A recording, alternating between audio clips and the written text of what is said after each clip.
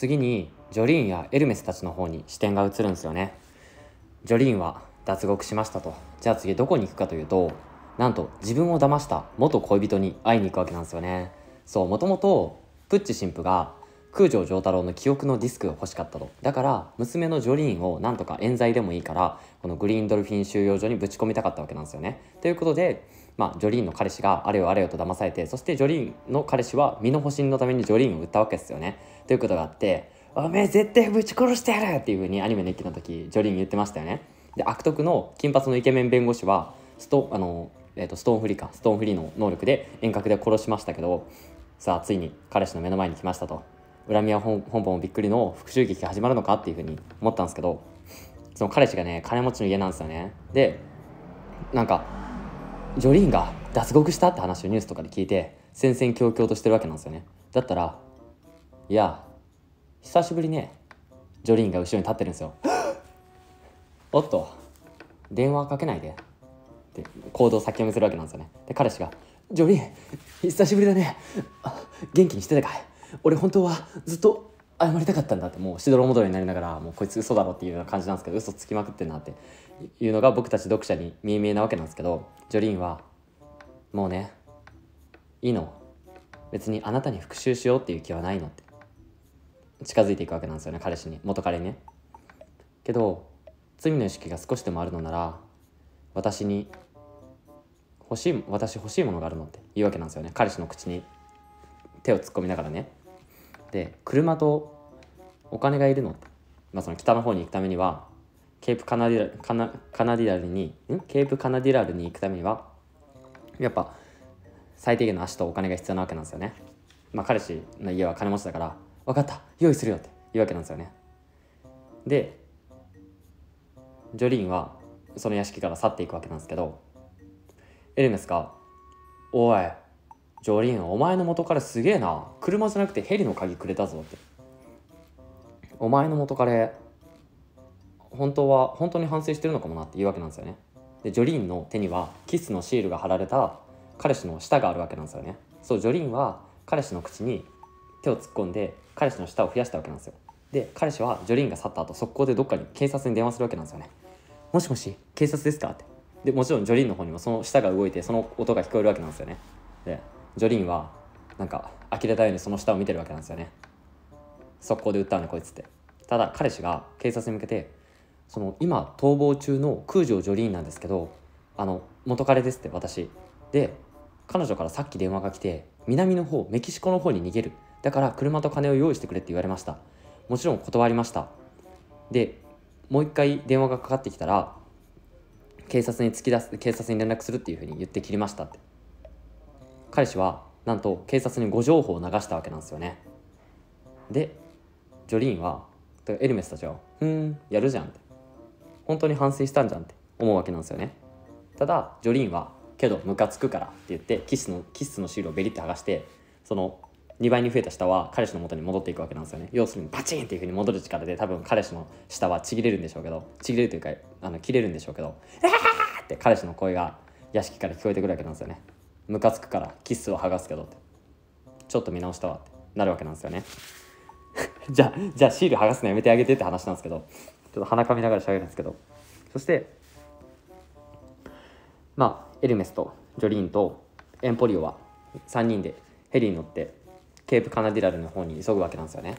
でエンポリオが操縦してるわけなんですけどすごいよ。この速度だったら警察とかの追っ手にも捕まらないしあと30分ぐらいでケープカナディラルのプッチ神父がいる宇宙センターにたどり着けそうだよっていうわけなんですよね。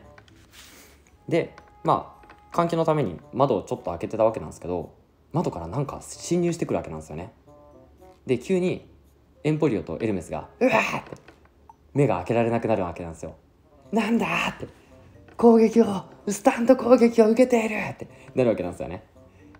おいエンポリオちゃんと前を見ろ。ダメだよ。まぶたが開かないよ。ジョリーンお姉ちゃんって。なるわけなんですよね。くっそ。敵の場所さえ分かればどの方向から来ればさえ分かれば。ストーンフリーって。キスとストーンフリーののあのスピードとかパワーとかでも捕まえきれない。ヘリの狭い中でなんか高速で何かが飛び回ってるわけなんですよね。攻撃の方向さえ分かれば倒せるんだな。エルメス。ジョリーンはそう言ってヘリのドアをバーン開けてストーンフリーでバンジージャンプみたいに体を縛って3人でピョーンっていう風にヘリから飛び降りるわけなんですよね。だったらヘリのドアからジョリーンたちを追いかける何か生物が一直線に来ててそれをストーンフリーバン砕くわけなんですよね。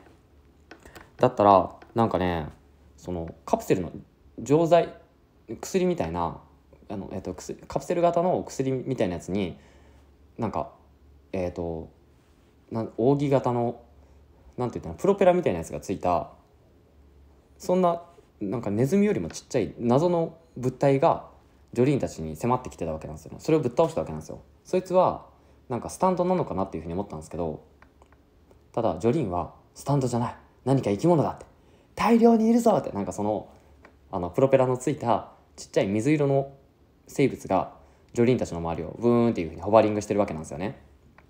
ジョリーンたちはヘリを乗り捨てて近くのあの衝撃を吸収できそうな沼地にベチャっていうふうに不時着するわけなんですけどでヘリは墜落するわけなんですねボシャンって。だったらそのままその場所になんかバイクに乗った牛のような格好をした男が細身の男がやってくるわけなんですよね。でそいつの周りをさっきの水色のなんかプロペラの生えたちっちゃい生き物がブーンっていうふうに旋回してるわけなんですよね。来たか。プッチ神父の資格って。なるわけなんですけど。でジョリン。不用意に近づくな。姿を現したってことは近くに行くほど相手のスタンドの精密動作も向上するはずだ。つまり相手は誘っているって。なるわけなんですよね。でそのバイク乗りの牛のコスプレをした男なんですけど彼もそのディオの血を引く2人目のプッチ神父の資格なわけなんですけどなんかナルコレプシーっていうその日中でも眠気が襲ってきてしまう病気って実際にあるんですけどその病気なのか知らないんですけどその男はなんかね間抜けなのか注意力散漫でその沼地でバイクで来てるからバイクがどんどんズブズブになっていくわけなんですよね。うわバイクが沼に沈んでいくしまったであのエンジンをかけてなんとかその沼地から脱出するわけなんですけどなんかうとうとしてしてるわけなんですよね。で俺は原因不明のこの眠気で俺の人生めちゃくちゃだった。受験でも失敗してスポーツとか人間関係とかでも全然集中できなくて。俺はもう人生終わったと思っていた。しかし先日プッチ神父に出会いスタンド能力を授かりこの力についに目覚めた。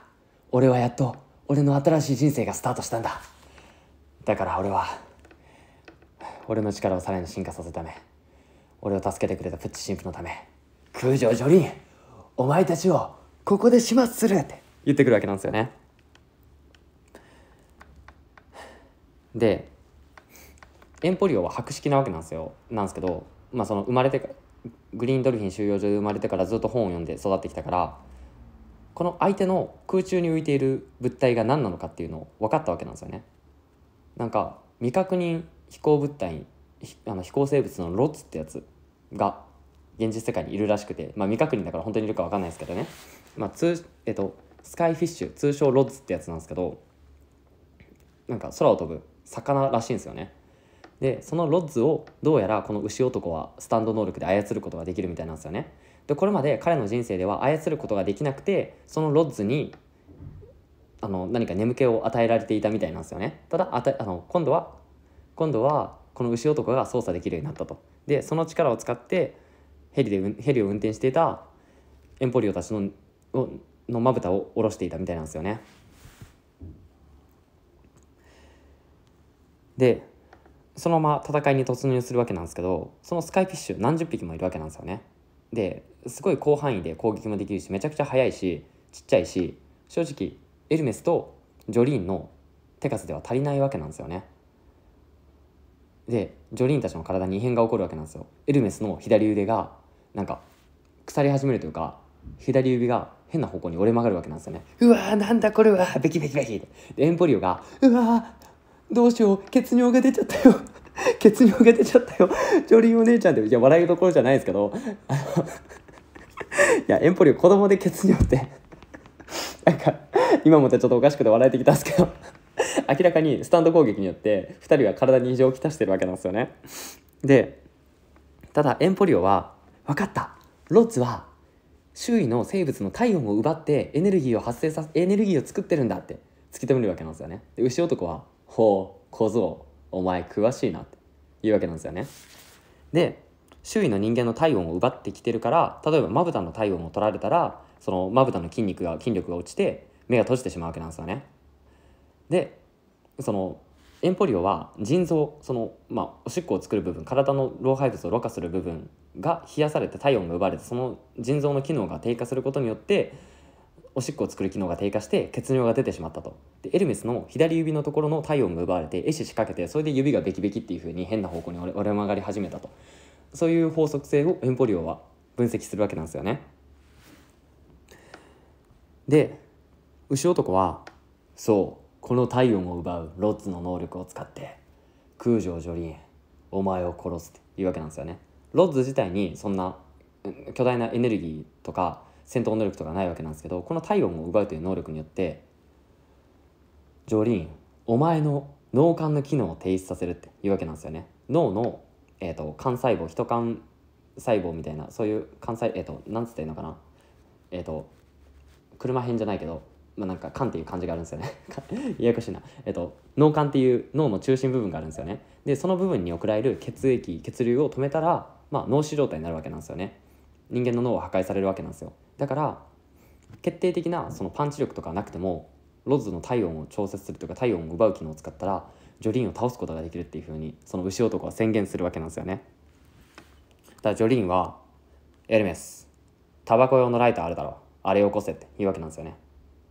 おおジョリーン分かったって渡すわけなんですけどジョリーンは「ストーンフリー!」って。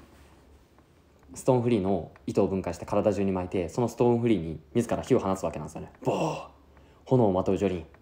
何やってんの？ジョリーンお姉ちゃん。牛男にどんどん近づいていくわけなんですよね。そうか。ロッズは人間の体温を奪う。だからこそ炎をまとうことによって人間よりも高い温度を体にまとうことによってジョリンお姉ちゃんの攻撃の優先度を下げさせたんだって。ロッツが近寄れないようにまずは炎を炎からエネルギーを奪うように仕向けさせたんだって。自分の体が多少やけどすることを厭わなくてもそれでも牛男を倒すそういう覚悟の表れなんだって。エンポリオを分析するわけなんですよね。で牛男をバーンっていうふうに殴られるわけなんですけどせっかく人生が変わり始めたのにこのまま終わってたまるかって倒れていた状態からジョリーンの首にガシって腕を伸ばすわけなんですよね。牛男はロッズを操って自分の痛覚を遮断するわけなんですよ。自分の神経伝達の機能の一部を麻痺させて痛みを感じないようにして、まあ、ゾンビみたいな状態にしてジョリンにしがみつくわけなんですよね。そしてその牛男は俺が手を回している部分俺が手を回しているおかげでその部分首筋の部分にの炎は消えた。ここにロッズを集中させてジョリーンお前の脳機能を停止させる。お前が俺を殴り殺すのか。それとも俺のロッズがお前の脳機能を停止させるのか。どっちが早いか。勝負と行こうじゃないか。って言ってくるわけなんですよね。そう。もうその牛男は自分の痛覚を遮断することによって無敵の人になるわけなんですよね。ただジョリーンは先に牛男を叩き潰すことができたわけなんですよね。っていうのも牛男がそのジョリーンの首筋を押さえてるわけなんですけどで本を消したわけなんですよ。あとはその手を離したらその無防備な首にロッズを集中させることができるわけなんですけどその首に回した手が離れないんですよね。くそ。神経伝達を阻害したから手がしびれてうまく動かせない。炎を消したのに俺の手がジョリーンとあのロッズとの間のの壁になってロッズがジョリーンの首の体温をうまく奪えない。そのせいでジョリーンの脳機能を停止させられない。くそここまでジョリーンは読んでいたのか。ボカボカボカボカボカほらほらほらほらほらほらバーン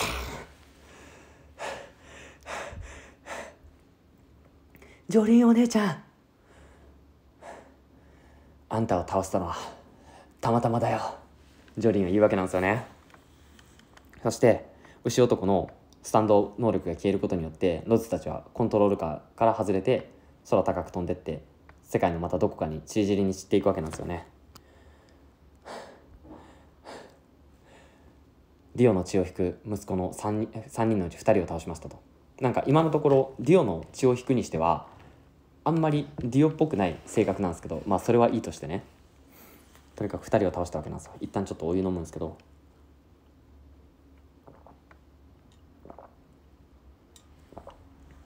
そして体勢を立て直してプッチ神父のいるところに急ごうっていうふうにジョリンたちはなるわけなんですよね。でその第3部の空城城太郎が主人公だった時もディオがどこかにいるっていうのはなんとなく感覚で分かったじゃないですか。まあディオの首から下にはその、えっと、ジョセフ・ジョースターの初代ジョジョの体が使われてるっていうのもあってやっぱジョジョースター家の血が流れてるからなんとなく分かるんでしょうね。でプッチ神父もそのディオの体の赤からできた赤ちゃんと融合したから多分プッチ神父にもジョースターの血が紛れてるんですよね。だからジョリーンとプッチ神父はお互いがどこにいるのかなんとなく分かるわけなんですけどということでジョリーンは自分の感覚を頼り頼りにプッチ神父のいる場所に3人で急ぐわけなんですよね。でその頃プッチ神父は「無。ジョリーンたちが確実にこっちに迫ってきているな」ってなるわけなんですよね。プッチ神父はなぜか病棟というか病院にいるわけなんですよ。そこで3人目のディオの息子なんか元軍人の車椅子の人にご飯の味見をさせるわけなんですよね。私と味覚が似ている君に味見をしてほしいって。私は貝アレルギーなんだがこの食べ物にはそういうものは入ってないかいって。で食べさせるわけなんですよねその男性ね。でなんか鮭のムニエルっぽい感じだけどホワイトソースかなんかの中にペーストした牡蠣のあのソースが使あ牡蠣を使ってソースを作られています。このまま食べるとプッチさんあなたの体に良くないでしょって。その車椅子の人は言うわけなんですよね。でさすがだ。私と似た味覚の君がいてよかったよってプッチ神父は言うわけなんですよね。むしまった。こんなことをしているうちにジョリーンたちが来たってプッチ神父は言うわけなんですよね。何やっとんねんって話なんですけど。で「おいジョリーンここ病院だぞ。本当にこんなところにあのプッチ神父がいるのか？ってなるわけなんですけど。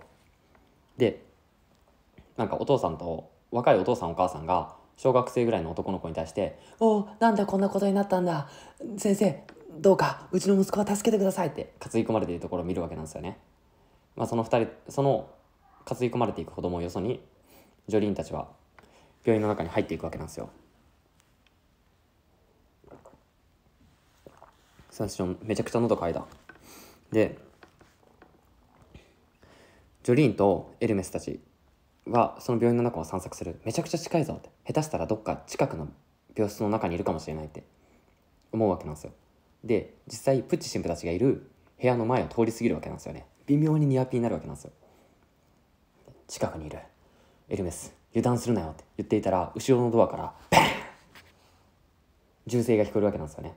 そして待合室の椅子に座っていたさっきまでその息子が担ぎ込まれていて「うちの息子!」っていうふうに言っていたお父さんが銃弾に撃たれて死んでるわけなんですよね。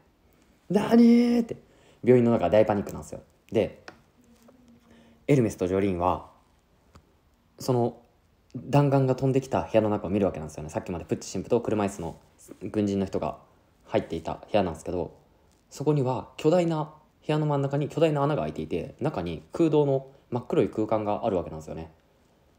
何？こんな穴がさっきまでこんなものなかったはずだ。全く気づかなかった。そして感じるこの穴の中にプッチ神父がいるって。おいジョリー待て。さっきの見ただろうって。何か罠があるって。たださっきの親父さんが撃たれたのはスタンド攻撃じゃなくて完全に実弾だった。どういうことだ？何にせよこの中は罠だ。ジョリー一旦作戦を練ろうぜ。いやダメだ。プッチ神父はこの中で3日間新月まで待つつもりなのかもしれない。罠と分かっていても私たちは行くしかないんだ。だけど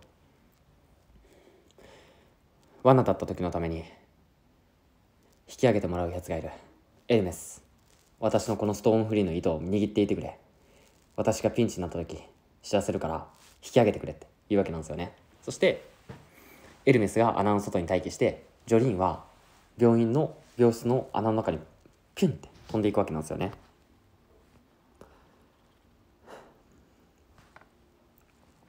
でジョリーンはその病院の穴の中に入ったら普通病院の地下に行くはずなんですけどなぜか飛行機の中にシュンって入るわけなんですよねアテンションプリーズってキャビンアテンダントさんが言うわけなんですよ。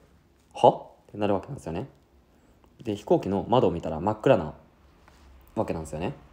どうなってんだ？なんで飛行機の中なんだって。でその窓から見たその雲の景色のさらに向こうになぜかプッチ神父とさっきの車椅子のもう車椅子からあの降りてるわけなんですけど車椅子から解放されてるわけなんですけどその金髪の元軍人の男性がいるわけなんですよね。でジョリーンが気づいてないんですけどその飛行機の外からジョリーンのこと観察してるわけなんですよね。罠にはまりましたね。我がアンダーグラウンドのスタンドにってその金髪の男性が言うわけなんですけど。でその男性のスタンドはアンダーグラウンドっていう能力で名前で地面が大地が記録していた過去の記憶を具現化させる能力なんですよね。でアメリカのその土地でかつて起きた飛行機事故飛行機の墜落事故の記憶を掘り起こしてその記憶の中にジョリンを閉じ込めてるわけなんですよね。で過去の記憶通り33分あと今28分です。あと5分後にはこの飛行機は墜落しますって CA さんが言うわけなんですよね。なにーって。まずい。これはやはりスタンド攻撃だった。くそエルメス私を引っ張り上げてくれ。グイグイっていうふうに糸を引っ張るわけなんですよね。でエルメスの方にそのなんかねあの天井に水面みたいに水あその波紋が浮かんでるわけなんですよね。でその波紋によって音が遮られていて「エルメス早く引っ張ってくれ。何してる!」って。ジョリンが叫んでいてもその声が聞こえてないわけなんですよね。でエルメスはクイクイってジョリーンの引っ張る感覚がして「何？引っ張れってあの持ち上げろってことか？分かった」って。エルメスは引っ張り始めるわけなんですけどそのアンダーグラウンドのスタンドがジョリーンの糸のところまで来てその糸を断ち切ろうとしてくるわけなんですよね。くそお前何しようとしてる？バン！アンダーグラウンドをぶっ潰すわけなんですけど。でエルメス早く引っ張れって言うわけなんですよ。エルメスが引っ張ろうとしていたら「んなんだ？そんなに深くないはずの穴なのにジョリーンの姿が全く見えない。あやっと見えてきた。おいジョリーン！引っ張ってったらガシッ。その手がエルメスの腕を掴むわけなんですよ。でその手を伸ばしてきたやつはジョリーンじゃなくてアニメ第2期の序盤でエルメスが復讐を渡したあのスポーツマックス。死体を見えないゾンビにさせる能力のあいつが「ようよくも俺を殺してくれたな」って。幻じゃなくて実体が出てくるわけなんですよね。どういうことって話なんですけど「何？お前はスポーツマックス私が殺したはずじゃねえか」って。なるはずなんですよね。でそう。スポーツマックスもアンダーグラウンドの能力によって、まあ、かつて殺された記憶を掘り起こされてエルメスに復讐しに来たわけなんですよね。でエルメスの腕をガッと掴んで「一緒に地獄に落ちようぜ」って。エルメスごとアンダーグラウンドのその病室の地下に落ちていくわけなんですよね。でジョリーンはそのせっかくエルメスに引き上げていてもらったのにエルメスが自分の持っていた糸こと落下してくるわけなんですよね。うわーエルメスなんで押してきたんだスポーツマックスはもう消えてるわけなんですけど。くっそ。敵のスタンドにやられた。ん？なんだ？ここ飛行機じゃないか。どうなってるんだ？墜落まであと3分ですってなるわけなんですよね。敵のスタンド能力で昔の記憶が呼び起こされている。決定し決定した過去の受賞は必ず繰り返される。あと3分後にこの飛行機が墜落して私たちはこのまま死ぬってなるわけなんですよね。でどうやらそのアンダーグラウンドの安全圏でなんか映像テレビのどんなにゾンビ映画とかでもテレビの向こうからから見てたらそのフィクションの作品の中に入り込まないのと同じようにプッチ神父とその金髪の男性は安全圏から見てるわけなんですよね。でそんな中そのプッチ神父は「おい大丈夫なのか？こあのジョリーンが逃げられそうだったぞみたいな風に言ってくるわけなんですよね。で男性は最初はプッチ神父に従順だったけど「ちうるせえなこいつ」って「俺はちゃんとやってるじゃないか。エルメスも巻き込んでエルメスも殺そうとしてるじゃないか」って。面中腹背というか心の中で悪感べーってするわけなんですよね。その男性は生まれつきなんか不運に見舞われる体質でとある魔術の主人公の上条斗真君みたいな感じかもしれないですけどなんか普通に生きてるのにうまくいかないんですよね。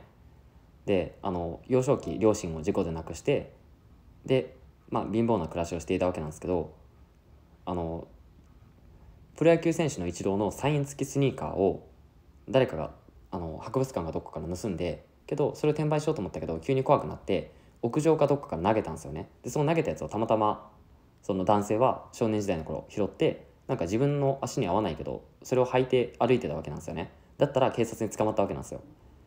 で後ほど一郎のサインスニーカーだったっていうのが分かってで裁判で何か言うことは？って裁判長たちに詰め寄られた時に空から降ってきたんだよって嘘をつくなんてなんて浅ましい人間なんて醜い少年なの？って。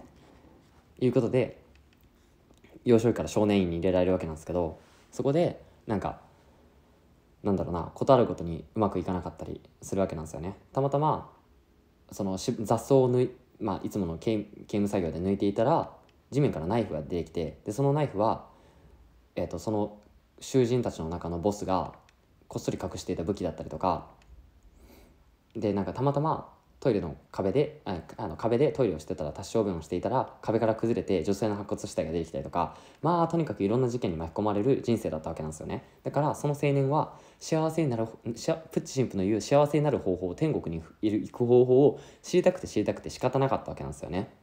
で俺のアンダーグラウンドの能力を使ったらうまく立ち回ったら俺も天国に行けるんじゃないかって。だからプッチお前にずっとしか従わなくても俺はいいんだぞって。隙を見て貴様を始末してやるからなってそのアンダーグラウンドの使い手の男性も思ってるわけなんですよね。ただまずはジョリーンたちが始末するんだって。その男性はまず自分のできることに集中するわけなんですよね。でジョリーンは「さあどうする?」ってなるわけなんですけどなんか飛行機の外を見たらもう一個航空機が飛んでるわけなんですよね。戦闘機みたいなやつが飛んでるわけなんですよね。このまま何もしなくても私たちは死ぬ。だったら他の方法を試してやる。その飛行機空飛んでるけどドアをボボコンってぶっ壊して「何やってんじゃダジョリーン!」ってエルメス言うわけなんですけどその隣の航空機に侵入するわけなんですよね。でその航空機を盗もうとするわけなんですけどそのパイロットが「おいお前誰だまあ何でもいい。この航空機この戦闘機はあと3分後にあの航空機と突っ込んで爆発してこの航空機この戦闘機は必ず死ぬって壊れるって言うわけなんですよね。何？この戦闘機もダメだったのかって。くそ。かくなる上は。ってジョリーンはストーンフリーって。糸を伸ばしてそのアンダーグラウンドの境界線であるまた天井の方に飛行機のあの上の方に糸を伸ばして現実世界の方に糸を伸ばすわけなんですよねで病院のその穴穴の周辺で警察官たちがやってきていて無線を通じて連絡してたわけなんですけどその警察官の無線を1個奪ってジョリーンが手元に手繰り寄せるわけなんですよねで無線機をうまく周波数とか調整してエンポリオと連絡をするわけなんですよエンポリオ物知りだからこの状況を解決する方法を知ってるかもしれないというふうに思ってジョリーンは「エンポリオ時間がない!」エンポリオとあの2人は別行動をとっていたわけなんですよね。もしプッチ神父と遭遇した時にエンポリオは戦闘能力ないから足手まといになるというか危険だからまずはエンポリオがその丈太郎の記憶のディスクをスピードワゴン財団の人たちに渡してそしてあの丈太郎の安全が確保できたら私たちに合流してくれっていうふうにジョリンは言ってたわけなんですよね。でその街を移動しているエンポリオに連絡が来るわけなんですよね。その何年前の何月何日の航空事故があるのは本当か？パソコンでカタカタカタ。あるよ。あのけどこのニュースがあるこのニュこれは昔の新聞とかに出てる。けど生存者2名って書いてるって。そうか。私たちがその生存者に入ったらあの生存者の席にたどり着いたらたまたまその爆発の真空の場所ができて私とエルメスは生き残れるんだなって。その場所はどこだって。D の50と51だよって。結構奥の方だよって。後部座席の方だよ。急いで上輪お姉ちゃんって。言うわけなんですよね。で3分後に飛行機が爆発するっていうことは逆に言えばその3分間は何をしてもその飛行機は爆発したり墜落しないっていうことなんだって。エンポリオは言うわけなんですよね。だからジョリーンはストーンフリーを使ってその戦闘機を航空機にバーンってぶつけてあの飛行機の中に戻ってくるわけなんですよね。めちゃくちゃ仕上がるって感じなんですけど。でエルメスとエルメスに言って急いで後部座席の D50 と D51 へって。言うわけなんですよね。でそこにもともと座っていたおじいさんと女の人がいたわけなんですけどお前らは決定した過去なんだって。お前らはあのこの場所で爆発に巻き込まれようが過去の人間なんだから実在する人間じゃないんだから関係ねえってのけって。言うわけなんですよね。でのけたらなんか手足の不自由な女の子と男の子が3人空から落ちてきたわけなんですよね。空といっても飛行機の上の空間からポトポトポトって「ああお姉ちゃん何?」って「何こいつらはこの飛行機の中にもともといた思い出の人間じゃない。病院の中にいる障害を持っている手足の不自由な子供たちをアンダーグラウンドは持ってきやがった。生存者は2名だろ。この子供たち3人を乗っけて私たちが助かれっていうのかこの子供たちを殺せというのかってなるわけなんですよね。で、まあ、このままだとジョリーンたちは自分たちの命を優先したら子供たちが死ぬわけなんですよね。プッチ神父は子供は別に2人でもいいんじゃないか。3人にしたら確実に無駄に1人死んでしまうじゃないかって。その男性に言うわけなんですけど。で男性は「うっせえな!」って普通に口に出すんですけど「ん？なんか言ったか?」いや何も言ってないですよ神父様って。ごまかすわけなんですけど。だけどもうこれでジョリーンたちはチェックメイトですって言うわけなんですよね。で飛行機が33分になりました。ポカーポー墜落するわけなんですよね。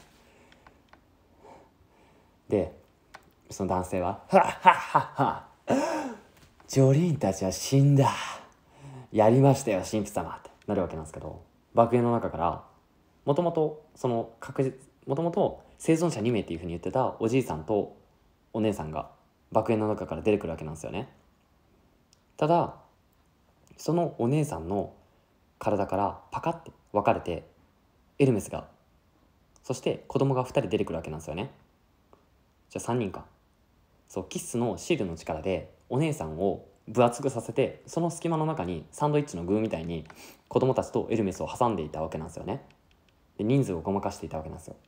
そしてジョリーンなんですけどジョリーンはエルメスの口の中からその糸の塊こううーってあのマジシャンがトランプをボヤーって口の中から出すみたいに ジョリーンが出てくるわけなんですよね。何ジョリーンは自分の体をバラバラに分解して糸細い糸にしてエルメスの体の中に隠れていたのかそうやって人数をごまかしていたわけなんですよね。そしてジョリーンとエルメスはその車椅子に乗っていた男をバーンってぶん殴るわけなんですよ。ついにプッチ神父と戦いがこの場所で始まるのかって感じなんですけど。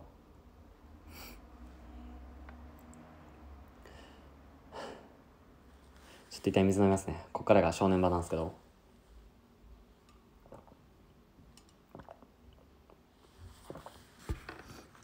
でその車椅子に乗っていた男性は「くそ俺も天国に行きたいのに俺はここで負けたのか」ってなるわけなんですよね。嫌だ。それは嫌だって。さっきそのジョリーンたちと戦っていながらプッチ神父の目を盗んでそのアンダーグラウンドの能力で地面に保管されていたものとかを取り出すことができるわけなんですよね。そして地面にあのなんつったらいいのかな？プッチ神父のホワイトスネークのスタンドの持っていたホワイトスネークを地面から掘り起こしてそしてホワイトスネークの持っているウェザーリポートの記憶のディスクを引っ張り上げたんですよね。でこの病院の場所にアナスイとウェザーリポートも近づいていたわけなんですけどその男性はアンダーグラウンドのスタンドにウェザーリポートの記憶のディスクを持たせて地下から外に出たわけなんですよね。そしてウェザーリポート本体にその記憶のディスクを渡したわけなんですよ。差し込んだわけなんですよね。でプッチ神父は「貴様何をしている？ウェザーリポートの記憶のディスクを盗んだのか？この私から」って。とんでもないことをしてくれたなって。でその地下の中になぜか虹が大量に現れるわけなんですよね。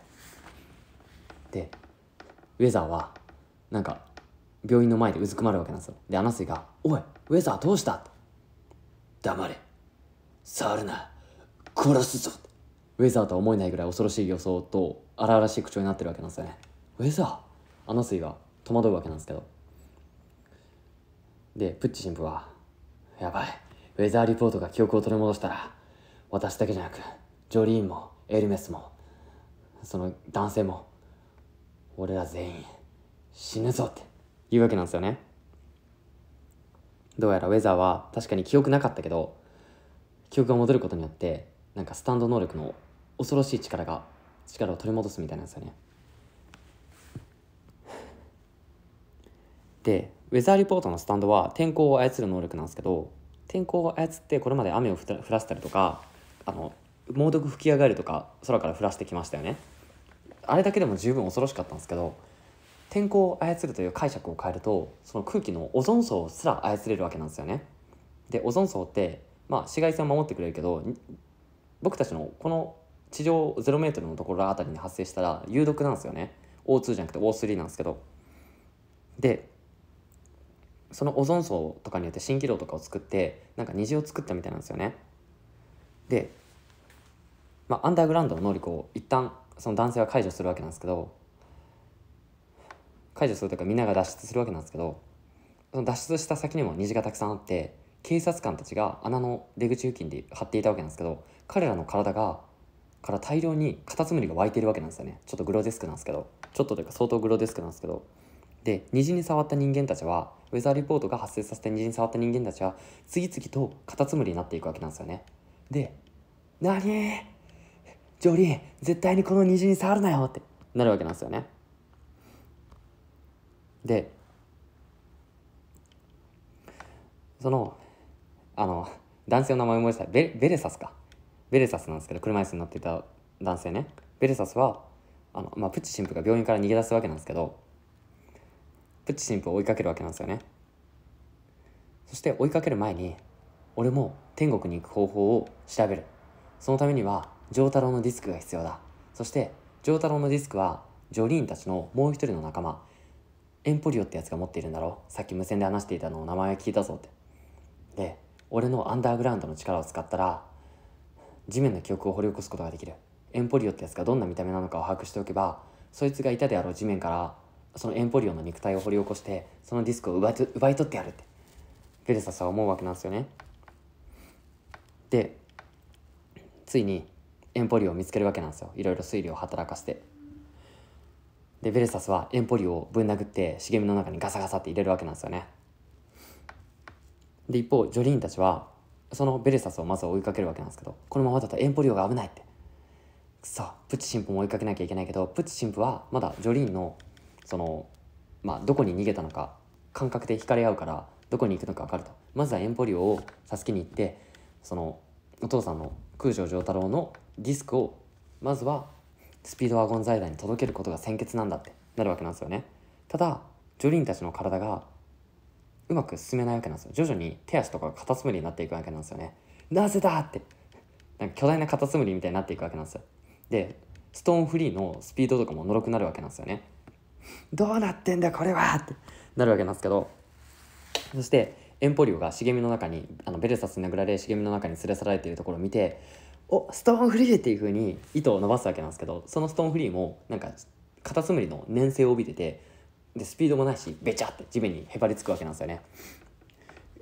くそスタンド能力が威力が半減してやがるってなるわけなんですよ。でさらに加えてベレサスは地面からスーパーボールって言ったらいいのかラグビーのなんか代表戦みたいな世界ワールドカップみたいなやつあるじゃないですか。それの記憶を掘り起こしてラグビー選手たちのがあのたまたまジョリーンたちのジョリーンの糸を絡め取ってジョリーンはそのベレサスたちと逆方向の方に引っ張られていくわけなんですよね。ジョリーンってエルメスは言うわけなんですけどまずいまずいまずいって。エンポリオたちエンエンポリオとそしてベレサスはどんどん遠くに行くわけなんですよね。であのエンポリオは物を小さくするスタンド能力を持っていたわけなんですけどエンポリオが隠し持っていた丈太郎の記憶のディスクをベレサスはついに奪い取るわけなんですよ。ただしジョリーンはそのベレサスのところに戻ってくるわけなんですよね。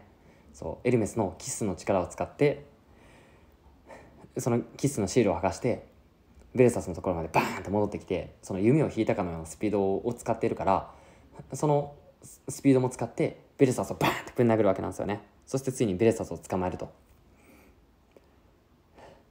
であのスピードワゴン財団に空城城太郎のディスクを渡してあとはプッチ神父を追いかけるんだって。そのベレサスを捕虜にした状態でね追いかけるわけなんですけど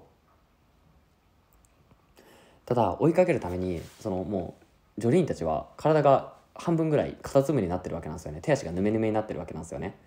でこのままだととてもじゃないけどプッチ神父に追いつけないと。でプッチ神父はなぜかわからないけどカタツムリ化してないわけなんですよね。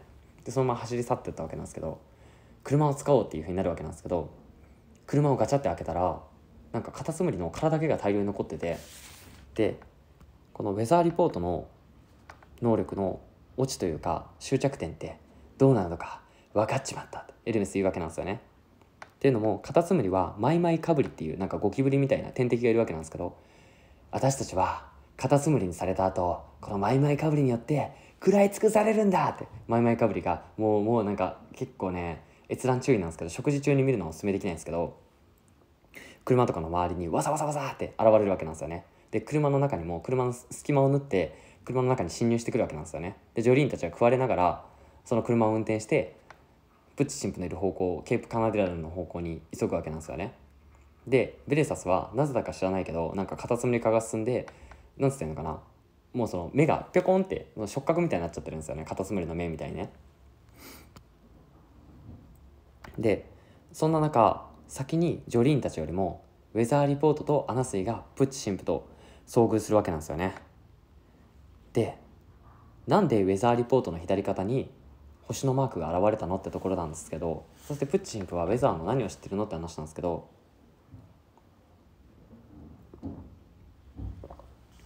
これがねなかなか悲しい運命なんですよね。実はプッチ神父の双子の弟がウェザーリポート。生き別れた兄弟だったわけなんですよね。でウェザーリポートは記憶のディスクを取り戻すことによって全て思い出すわけなんですけど。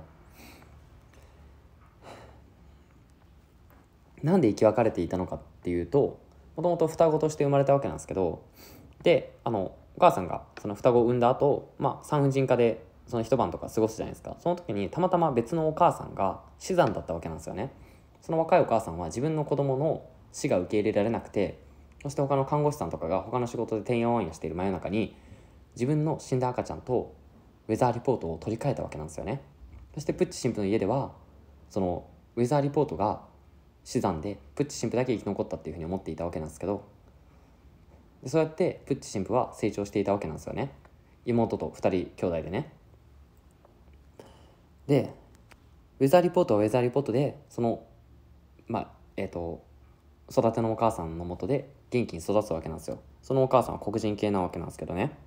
でウェザーリポートはその飲食店でバイトしてる時にたまたまプッチ神父とウェザーの妹とあまあプッチの妹要するにウェザーリポートの妹でもあるんですけど、えっと、ペレラだったかな？ペルラか。ペルラっていう金髪の女の子とたまたま出会い恋に落ちたわけなんですよね。で2人は仲を進展させていくわけなんですけどでプッチも「おいペルラ最近なんかぼーっとしてるけどどうした?」って「実は私好きな人ができたの」って「それはいいことじゃないか」って「おめでとう」って。プッチは言うわけなんですけど。それから、ま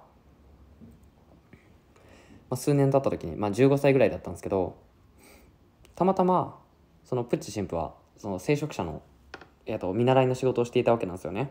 でその時にウェザーの育てのお母さんが懺悔室に来て「私の懺悔を聞いてください」って「私は実は他人の赤ちゃんを盗んでしまったんです」って「自分の赤ちゃんの死が受け入れられなくて他の赤ちゃんと入れ替えてしまったんです」って。あの近所の名家プッチさんの家エンリコエンリコさんの家で家の双子の片割れを私は引き取ったのですって言うわけなんですよね。えー、それってうちの死んだ弟のことやんけっていうふうにあのプッチ神父になるわけなんですけどでその懺悔室で聞いた話は絶対に口外してはいけないわけなんですよね。でプッチ神父はもうすごいとんでもない話を聞いてしまったから動揺するわけなんですけどそんなある日夜ディオに、まあ、教会の中で出会うわけなんですよね。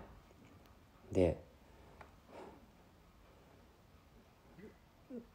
なんかディオはなんか不思議な雰囲気を持ってるわけなんですよねここで出会ったのも何かの縁だ大きな力が欲しくなった時私のことを思い出すといいってディオは言うわけなんですよね。そして石仮面の矢を渡されるわけなんですよプッチ神父は。そのままペンダントにするわけなんですけどそんなある日ウェザーリポートとペルラが仲良くなってるのをこっそり見て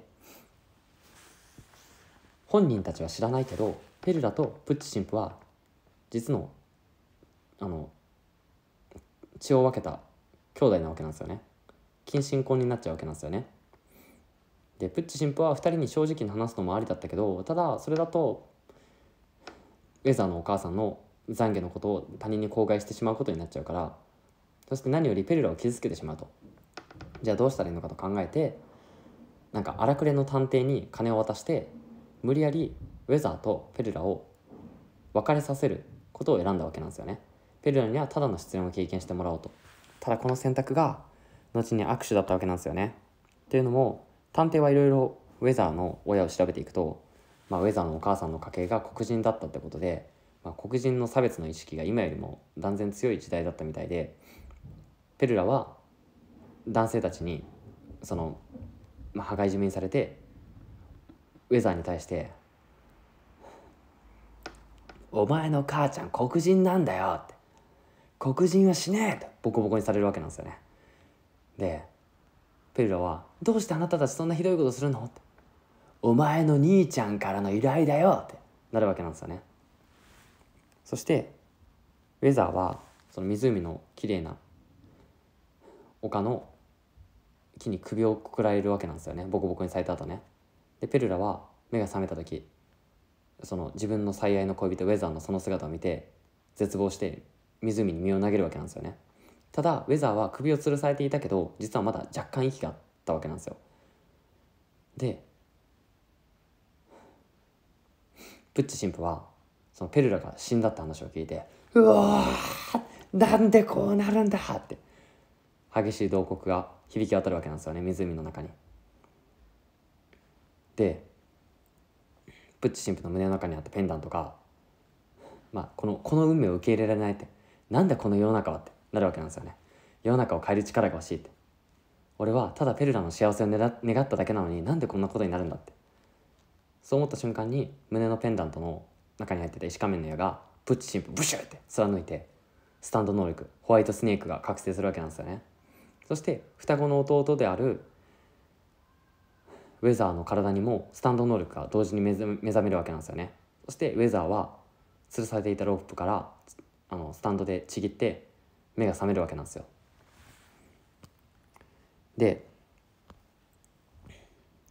プッチは プッチじゃないウェザーはそのペルラのお兄ちゃんがこれを仕向けたっていうことを、まあ、その今の際で思い出して今の際で言っていたことを思い出してそしてまずその荒くれの探偵に復讐しに行くわけなんですよね。よう俺のこと覚えてるか？貴様死んだんじゃなかったのか？お前お前に金を積んだペルラの兄貴は誰だ？どこにいるって？そしてプッチ神父のことを聞き出してその探偵を殺したわけなんですよね。でプッチ神父を殺しに行ったわけなんですけどプッチはプッチ神父はホワイトスネークによってウェザーの能力の危険性をそしてお前は俺と血を分けた兄弟なんだって。そんなこと信じられる信じられるわけないだろって。俺と同じタイミングでスタンド能力目覚めたな。それが双子の兄弟である証だ。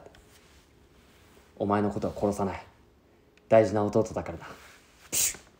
ホワイトスネークでウェザーのエピソード記憶をごっそり抜いて適当に罪をなすりつけてグリーンドルフィン刑務所にぶち込んだわけなんですよね。ただその記憶が今ウェザーに戻りましたと。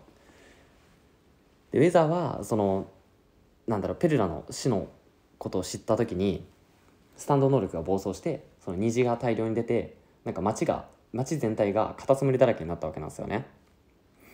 そう。ウェザーのコントロールできない無意識の現象によってあの虹とカタツムリが大量発生するという現象が現れてしまったわけなんですよ。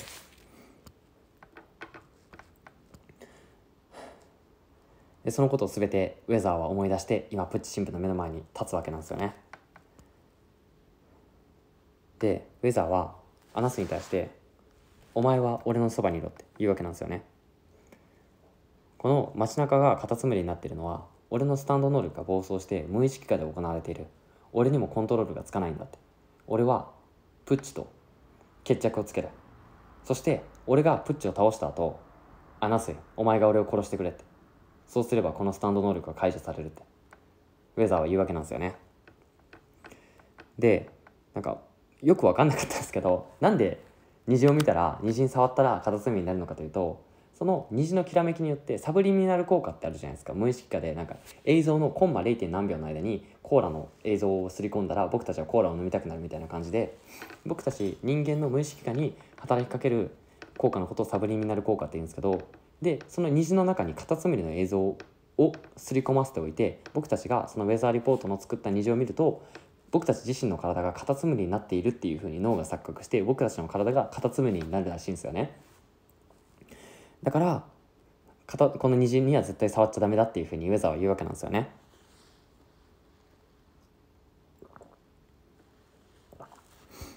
そしてウェザーは、まあ、当然自分の双子の弟だから自分の双子の兄貴が近くにいるっていうのは感覚でわかるはずなんですよね。このカタツムリだらけの道路で近くにいる。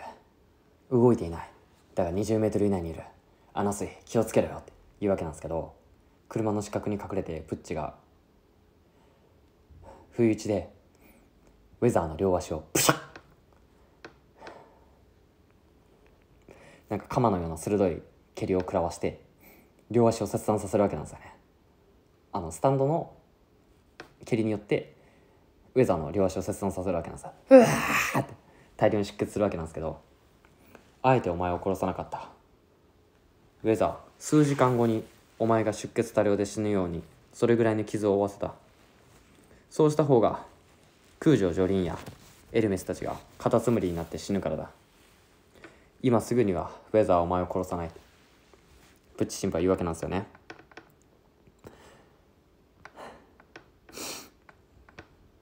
でアナスイとウェザーは疑問に思うわけなんですけどなぜプッチ神父はカタツムリになっていないんだって。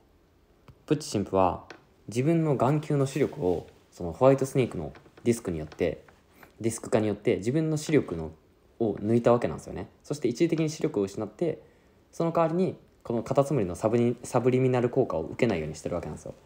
なんで虹を見たら虹に触ったらカタツムリになるのかっていうのをそのウェザーが昔暴走した時から法則性をあのプチ神父は導き出していたわけなんですよね。盲目のおばあさんは一切カタツムリになっていなかったっていうところから目に見えなければ虹を見なければ問題がないということを理解していたわけなんですよね。対策がバッチリだったわけなんですよね。でアナスイも徐々にカタツムリ化するわけなんですよ。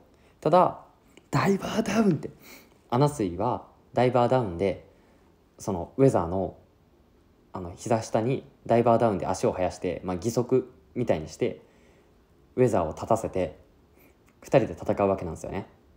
まあホワイトスネークはサポート型みたいな能力だからこれまでのキラヨシカゲとかディオみたいに近接戦闘がめちゃくちゃ強いわけじゃないんですよね。でなんならウェザーリポートは特殊効果とか範囲攻撃も強いけど近接戦闘も強いわけなんですよ。ダイバーダウンも近距離強いしね。ということで距離を詰めるわけなんですよね。さらに加えてウェザーリポートは天気を操る力を使って周囲の空気を乾燥させてなおかつ冷気を操って自分の流血した血を地面からつらら逆つららみたいにその天に昇るような氷のつららを作ってプッチ神父の足にブサッと刺すわけなんですよね。でプッチ神父はその視力をディスクで自ら奪ってるからどんな攻撃が来てるのかわからないんですよ。ぐわ足が痛い。ウェザー何をした？アナスイたちは何をしたかどうかそのディスクを戻して自分で見てみろよっていうわけなんですよねでさらに距離を詰めて近距離戦をかますわけなんですよ。よしこのままだとプッチ神父を倒せるってなるわけなんですけどそんな時にジョリーンたちが車でそこに来たわけなんですよね。でさらに運が悪いことに大量のカタツムリたちとそして運転手が、えーと、誰だっけベレサスっていうのもあってでほぼカタツムリ化しているベレサスっていうのもあって車がスリップしながら現場に到着するわけなんですよね。バーン!爆炎が振りまかれるわけなんですよ。なんとジョリーンたちが駆けつけたことによって隙が生まれてウェザーたちはとどめを刺さなかったわけなんですよね。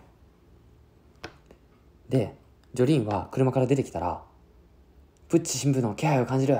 プッチ!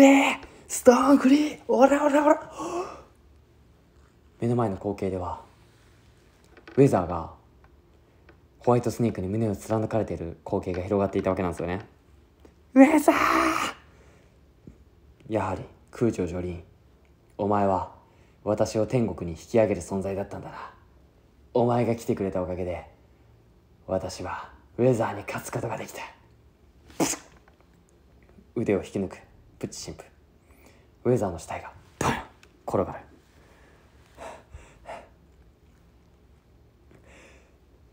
プッチプッチを殴ろうとしたわけなんですけどプッチを殴ったらその殴った顔がさっきのベレサスになってるわけなんですよね。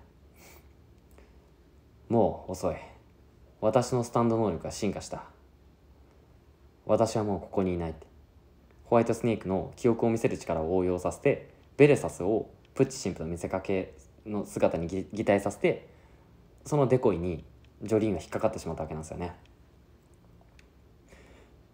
もうダメだ。ジョリーンプッチはもうこの場所にはいない。この幻影をもとにあいつはもう先に逃げてしまった。おそらくケネディ宇宙センターにいるんだろうってケープカナディラルにいるんだろうってなるわけなんですよね。ただウェザーウェザーってみんなでウェザーに駆け寄るわけなんですよね。ウェザーは最後の最後に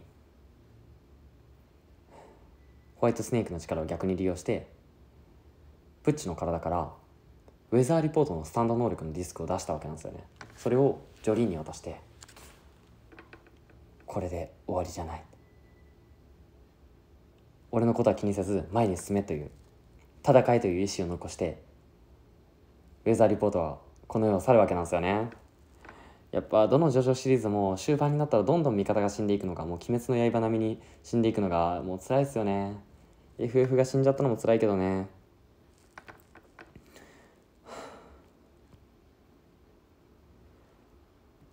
ということでまあディオの息子3人は倒したわけなんですけどプッチ神父はウェザーとの決着をつけた上でどうやらスタンドが進化してケネディ宇宙センターに行って場所を仕切り直してジョリンたちとこれから戦うわけなんですよね。に視点が移るわけなんですけどプッチ神父はジョリーンたちから逃れてケネディ宇宙センターに行くわけなんですよね。ただウェザーからのダメージも食らった状態で結構胸胸を手で掴んで「はあはあ」みたいな感じで動いてるわけなんですよね。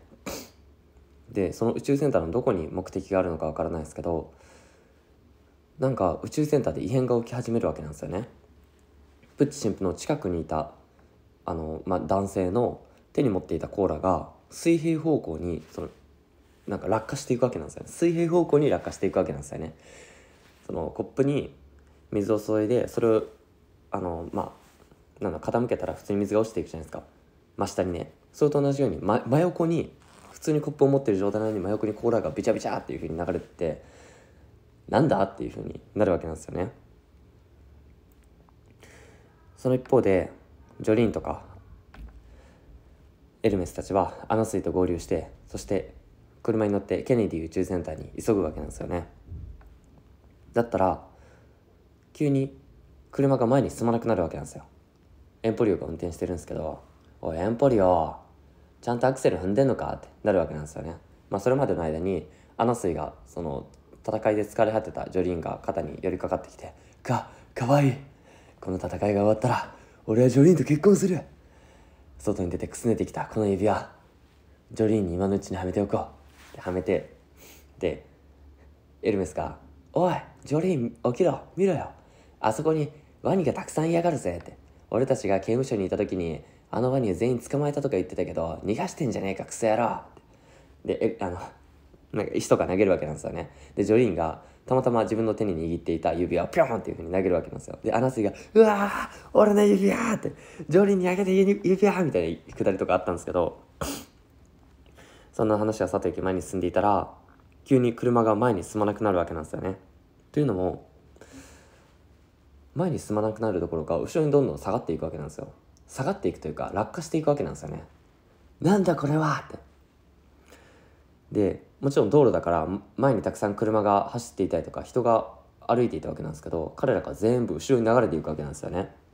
なんだ車が横に落ちているってなるわけなんですよね。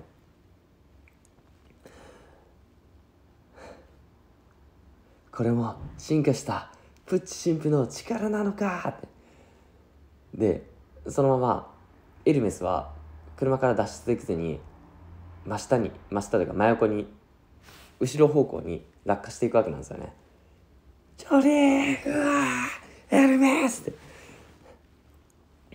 アナスイがジョリー待て。エルメスのことだ。必ず生きている。まずはエルメスを助けることより。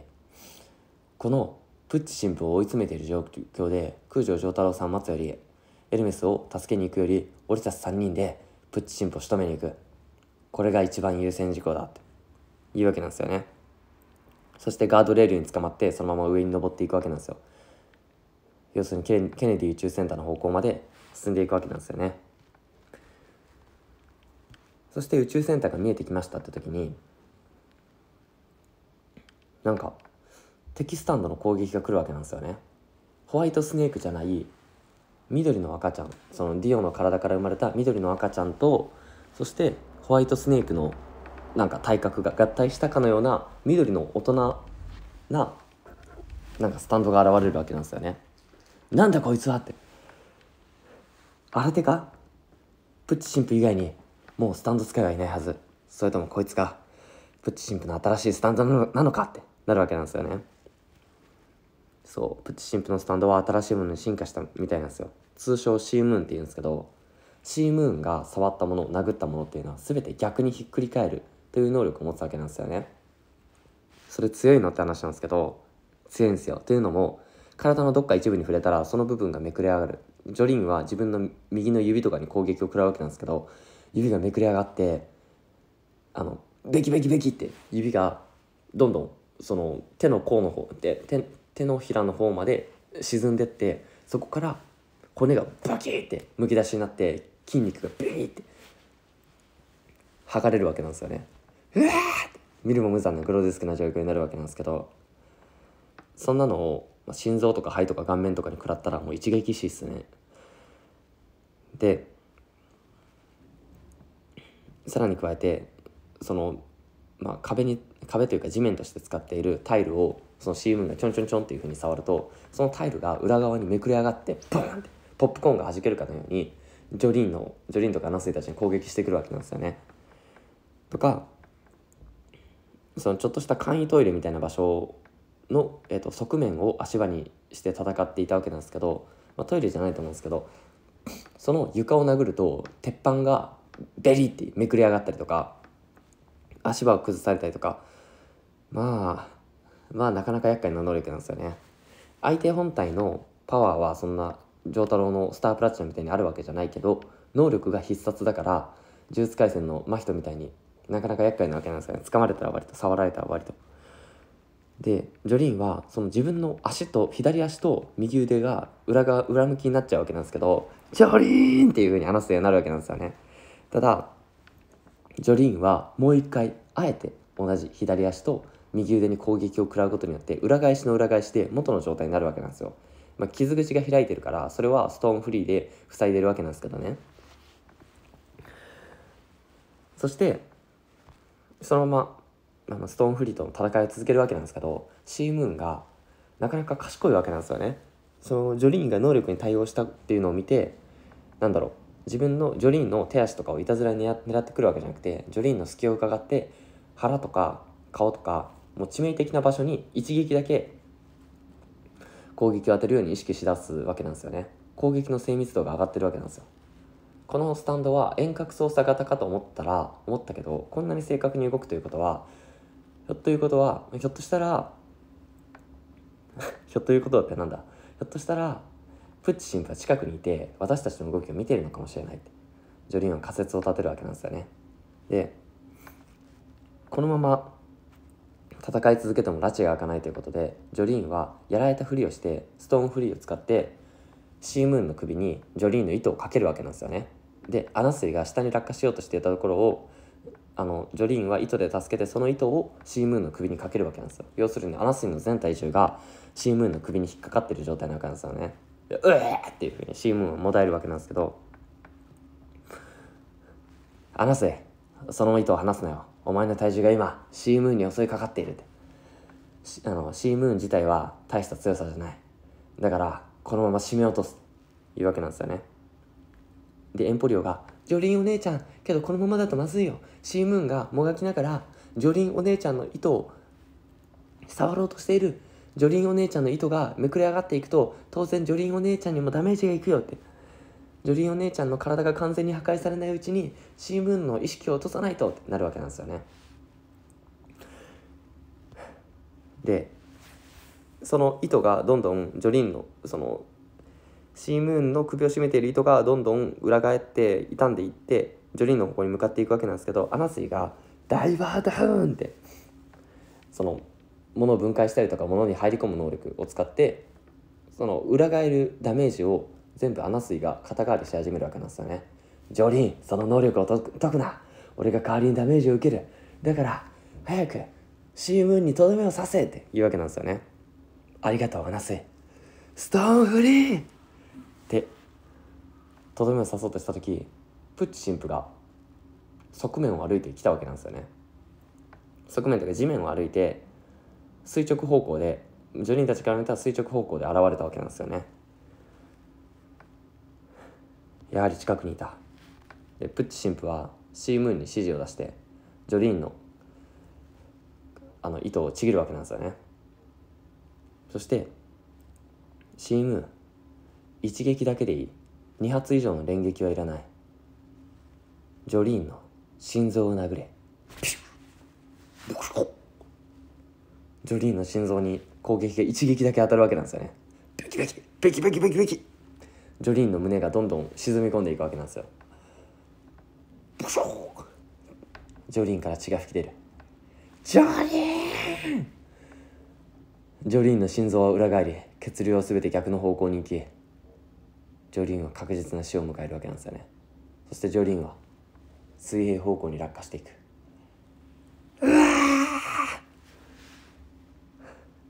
プッチ神父はこれで俺を阻む。私を阻む障壁はなくなった。宇宙センターの元に戻っていくわけなんですよね。アナスイは怒り怒り狂うわけなんですよ。プッチー。その時エンポリオに対して誰かからメールが来るわけなんですよ。ピコンって。なんだ？メールか？ジョリーンは生きている。だが瀕死の状態だ。ジョリーンは重力そして裏返る力に対して体勢をつけた。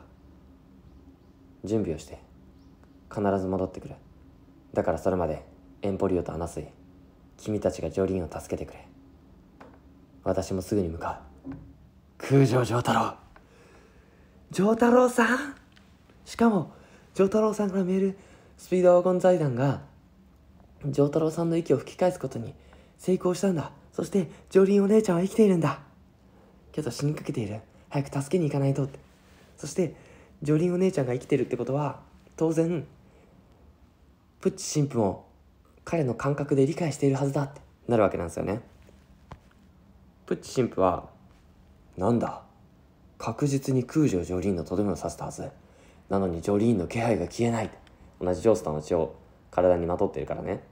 ジョリーンが生きていることを理解してるわけなんですよ。ジョリーンはどこにいる？早くとどめを刺さねばって。移動していたらそこにアナスイが来るわけなんですよね。プッチーお前は俺の足止め役にもならん。プッチはアナスイを殴るわけなんですけどそれはデコイだったわけなんですよね。アナスイはダイバーダウンを使って一般人の死体死体の骨格を変えてアナスイの見た目に変えていたわけなんですよ。いやダイバーダウンその整形とか変装とかそこまでできるのって結構便利って話なんですけど。でプッチ神父をまあアナスイは隙を作ってプッチ神父を殴るわけなんですけど攻撃が当たらないわけなんですよね。なんか五条先生の無加減呪術みたいに攻撃がその近くに行くとジュルって滑るわけなんですよね。なんだこれはって。プッチ神父を中心に重力がプッチ神父と逆方向に働くわけなんですよね。でプッチ神父が歩いている場所がプッチ神父にとっての地上でそれ以外の場所は真逆方向に重力が働くわけなんですよ。だからプッチ神父が何つったらいいのかな、まあ、要するに全部攻撃のベクトルが真逆になるわけなんですよね。プッチ神父に攻撃が届かないわけなんですよね。だから言ったんだ。お前は俺の時間稼ぎにもならない。でプッチ神父はジョリンが生きている気配のするなんかこぶっ壊れたコンビニエンスストアのところまで行くわけなんですよね。あのままあのジョリーンは落下してここに来たのか。ジョリーンはどこにいる？そのコンビニの中を恐る恐る探るわけなんですよね。だったらナイフが飛んでくる。危ない。ジョリーンはどこだ？後ろからストーンフリー。拳が飛んでくる。避ける。ジョリーンやはり生きていたか？なぜ貴様は生きている？貴様は心臓が裏返ったはずだ。ジョリーンの心臓のところにストーンフリーの水色の糸でなんか無限のあのマークができて無限の形が作られてるわけなんですよね。それはメビウスの輪じゃないかって。プッチ神父言うわけなんですよ。メビウスの輪っていうのはなんか一筆書きで無限の形で表と裏がないような折り紙とかで作るそういうメビウスの輪の形とか作れるんですけど自分のジョリーンは自分の体の中でメビウスの輪を作って表と裏がない自分の心臓付近を表と裏がないような状況にして裏返らないようにしたわけなんですよね。厳密に言ったら裏返っても何も差し支えがないような状態にしたわけなんですよ。その後ジョリーンは顔面を殴られるわけなんですけど顔面付近もメビウスの輪を作って対応するわけなんですよね。そして狭い店の中でプッチ神父と戦うわけなんですけどやっぱプッチ神父の方が近距離戦闘はあの劣っているわけなんですよね。でなんかそのプッチ神父にさっきまでアナスの攻撃届かなかったはずなんですけどジョリーの攻撃が当たるわけなんですよね。くそまずいって。プチ神父は距離を取るわけなんですよ。でコンビニの中をぐるぐる回るわけなんですよね。うろうろするわけなんですよね。何をしてるプッチって。なるわけなんですけど私は天国に行くんだ。天国に行くためにやはりジョリーン貴様を殺さねばいけない。ただ今のままでは勝てない。だから偶然にかける。私の足がついている場所が私にとっての地面になる。つまりそのガラス張りのあのコンビニのなんか外側のところを歩いたらそこが地上になるわけなんですよね。だから地面がぐるぐる回るわけなんですよ。で空中をなんか物だったりとかそのコンビニの中のものだったりそのコンビニの外ではその重力によって殺された人とかが宙に浮いてるわけなんですよね。で来た。この偶然を待っていた。死んだ警官の警官が近くに飛んできてその拳銃をガシッて掴むわけなんですよね。これで遠距離で一方的に空城ジョリン貴様を殺すって銃口を向けるわけなんですよね。でジョリンにバンバンバンバン弾丸を発射するわけなんですよ。ジョリンに弾丸が迫る。その時さあワールド時を止まれ。ピタッ。やれやれだぜ。空城城太郎参戦。ジョリーンとアナスイを抱えてピュッ。安全圏に逃げる。再び時は動き出す。パリンパリンパリンパリン。弾丸が空をかすめる。お父さん。ジョリーン大きくなったな。遅くなった。あなたが丈太郎さん。エンポリオも丈太郎さん。来たんですね。そしてプッチ神父の後ろからキス。危ない。プッチ神父はキスの攻撃を受ける。キスが来たということはそうエルメスも来てるんですよね。私はすごい下まで落下した。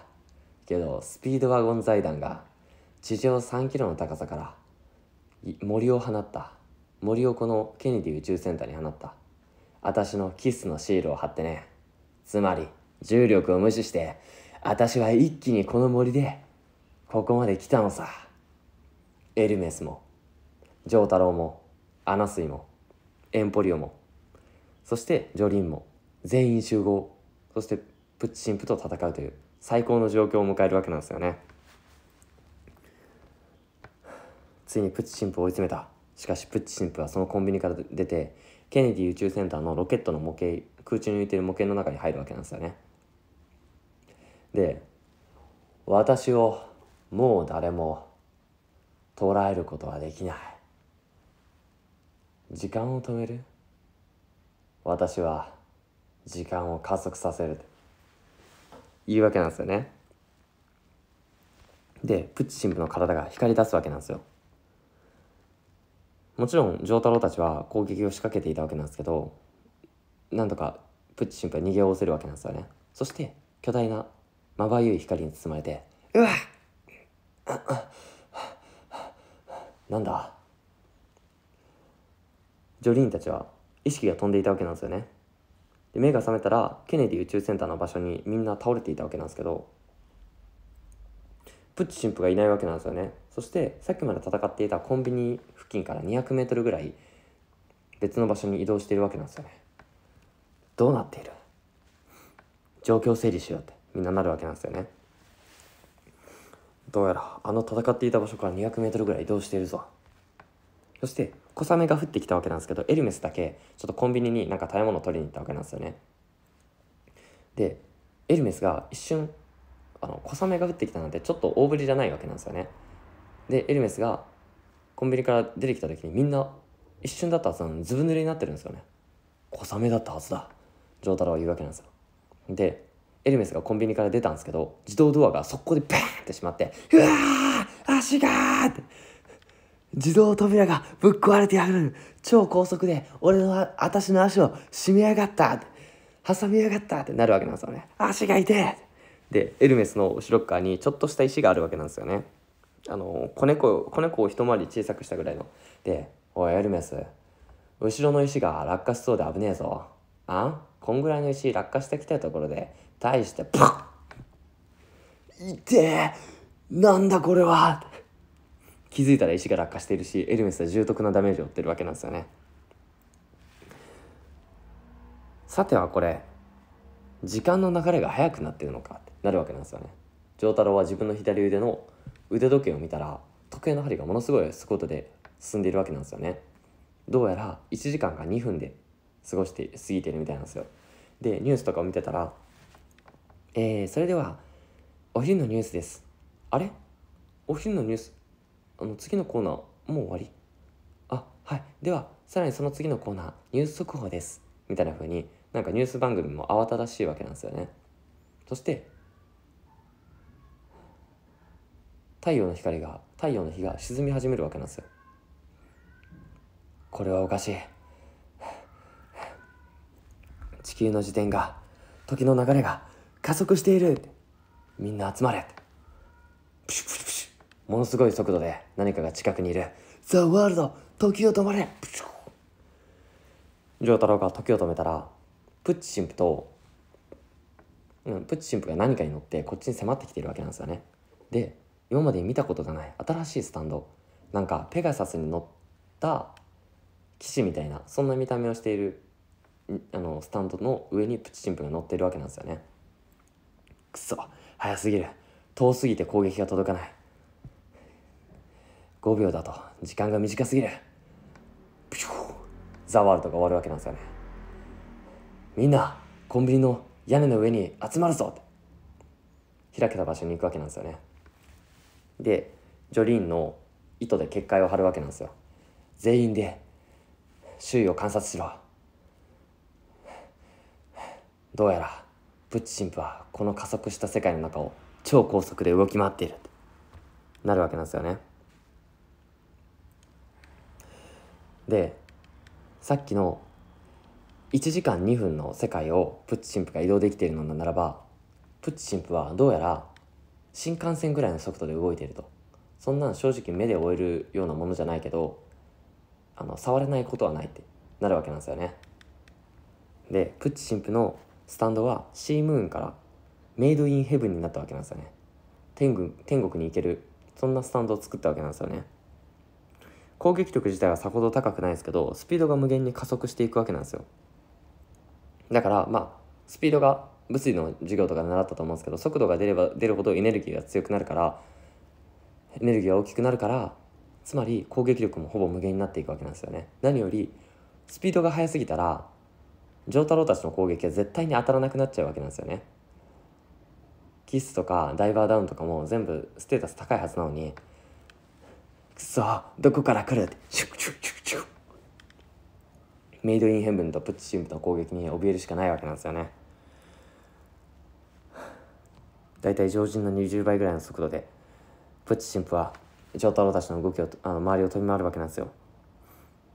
で丈太郎のスタンドで時を止めてるうちに攻撃したいわけなんですけどその5秒間の時を止めてる間にプッチ神父が丈太郎の射程内に来てくれたらいいんですけど丈太郎のザ・ワールドをは連発できないからザ・ワールドを無駄打ちさせてその隙に距離を縮めて丈太郎たちをボコボコにするっていうのがプチ神父の狙いなわけなんですよね。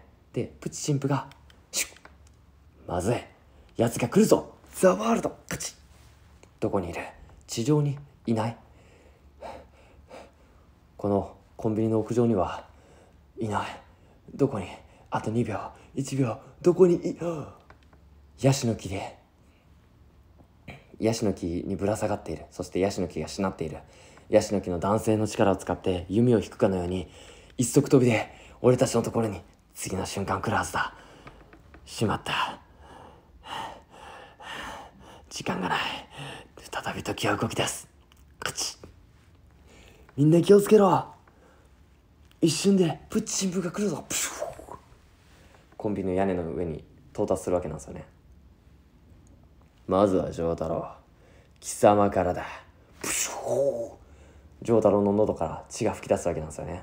ただアナスイがダイバーダウンを使って丈太郎の体にダイバーダウンを仕込ませておいたおかげでなんとか死なずに済んだわけなんですよ。もちろんアナスイのダイバーダウンが傷つきアナスイにダメージがいくわけなんですけどね。なるほど。ではアナスイまずは貴様から殺そう。プシュプシュプシュプシュ高速で移動するわけなんですよ。このままだと自利品だ。一旦みんなで逃げるぞって。みんな僕に捕まってって。エンポリオが言うわけなんですよね。僕の拳銃のえっと幽霊拳銃の弾丸とそしてキスの力を使ってみんなでこの場所から移動するんだって。アナスイが俺に考えがある。エンポリオあの湿地帯のところに行けて。水浸しの湿地帯のところに行くんだって。バン。弾丸を撃つわけなんですよね。ダメだ。プッチが僕たちを先回りして待ち受けている。だったらあっちの方向だ。バン。そして湿地帯というか沼地のところにピチャッ。みんなが降り立つわけなんですよね。もちろんプッチ神父は高速で移動して一瞬で取り囲むわけなんですけどただ沼地だからプッチ神父がそのジョリーンたちの周りを円運動で動く時にパシャパシャパシャパシャ水の動きであのどれぐらいの距離にいるのか分かるわけなんですよね。予測しやすいわけなんですよ。でアナスイはみんなもっと一塊になれ。俺のダイバーダウンがみんなの体を貫けるようにって言うわけなんですよね。これで誰に攻撃が来ても真っ先に俺の体にダメージがいく。そして俺がプッチ神父を捉える。そこで丈太郎さんあなたがザ・ワールドで時を止めてプッチ神父にとどめを刺してください。この状況を打開できるのはあなたのザ・ワールドしかない。っていうわけなんですよね。アナスイはそのプッチ神父にみんなが追い込まれているコンビニの屋上にいる時に「ジョリーン俺と結婚してくれ。この戦いが終わったら」っていうふうに言っていたし丈太郎に向けて「丈太郎さん私はあなたの娘さんと真剣に交際したい。結婚の許可をください。当然ジョリーンが俺に対して興味がないことなんて理解してます。ただ丈太郎さんあなたが結婚の許可を出してくれる。許してくれるだけで俺の心は救われるんですって言っていたわけなんですよね。でアナスイの覚悟を聞いてジョリーンが「アナスイいいわよ。結婚しましょう。もう私は自分の死期を悟って言ってるわけじゃないよ。なんかもう全部どうにでもなるっていうふうになってるわけじゃないわって。あなたの志あなたの気持ち伝わったわってジョリーンは言うわけなんですよね。そして丈太郎も「話せ分かった。君の作戦に乗ろう」って言うわけなんですよね。で完全に俺の体を貫いてからじゃないと発動したらダメですよ。まだだ。まだだ。ダイバーダウンで俺の体と丈太郎さんの体はつながっている。だから感覚的にこのタイミングが今だっていうのは分かるはずだ。待ってください。中途半端な状況でザ・ワールドを使って攻撃が空振りすることだけは避けなきゃいけねえ。まだだ。まだまだ。プッチンプが迫るシュッブシュアナスイの体を貫く今だザ・ワールド時を止まれピコカチカチカチカチカチアナスイこの時間は無駄にしないアナスイの体を貫いているこのスタンド歌詞何ジョリーンのストーンフリーだとバカなプッチ神父のメイドインヘブンはホワイトスネークの力を借りてストーンフリーの体を操ってアナスイの体を貫いたのか。くそ少し遠くにいる。これで一手ロスした。残り3秒。距離を詰めよう。あと2秒。よし。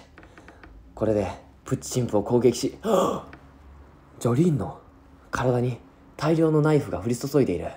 これはかつてディオが俺に対して行ったのと同じ方法。そうか。プッチ神父の体に今ディオの血は流れている。ザ・ワールドへの対策を怠っていないということか。うらうらうらうらうら。ジョリーンの体にまとわりついているナイフを弾くわけなんですよね。くそ。あと1秒。プチ神父に攻撃届け。オラオラオラオラオラオラ時が再び動き出す。プチ神父に攻撃は届かなかった。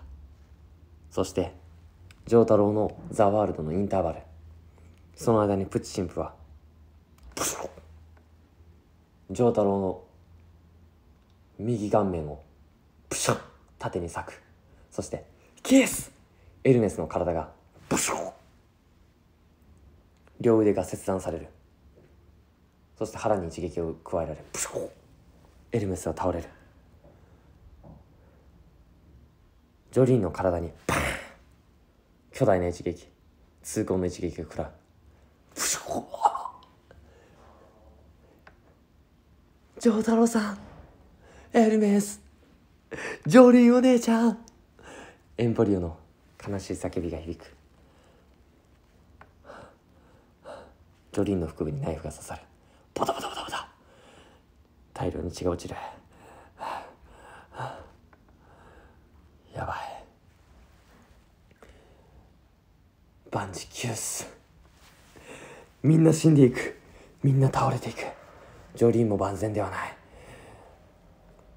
空城ジョリー。ンお前らはよく頑張った。だがもう終わりだ。私とメイドインヘブンには勝てない。プッチ神父は言うわけなんですよね。ジョリーンは。ストーンフリー。沼地で戦っていたけど大陸がどんどん時間の加速によって変わってってもう太陽の光が今が朝なのああの昼なのか夜なのか分からない状況になるわけなんですよね。空は暗いけど太陽がその一筋の線を作って移動しているわけなんですよね。それぐらい超高速で時間が移動しているわけなんですけど進んでいるわけなんですけどで人間以外の生物やものっていうのはこの加速した世界に対応できてるわけなんですけどあとプッチ神父はね。つまりプッチ神父以外の人間は全員プッチ神父よりも遅い世界を生きなきゃいけないわけなんですよね。でジョリーンはエンポリオをストーンフリーイルカに乗せるわけなんですよね。ジョリーンもそのイルカにストーンフリーで捕まるわけなんですけど。でプッチ神父から距離を離すわけなんですよね。プッチ神父は当然追いかけるわけなんですけどなぜかプチ神父は超無限に加速できるはずなのにジョリーンたちに追いつけないわけなんですよね。プッチ神父が追いつけない。なんで？おそらくだがプッチ神父は自分以外の時間を人間の時間を遅くしている。時を加速させている。イルカとか鳥とか他の生物は加速した世界の中で普通に生きていける。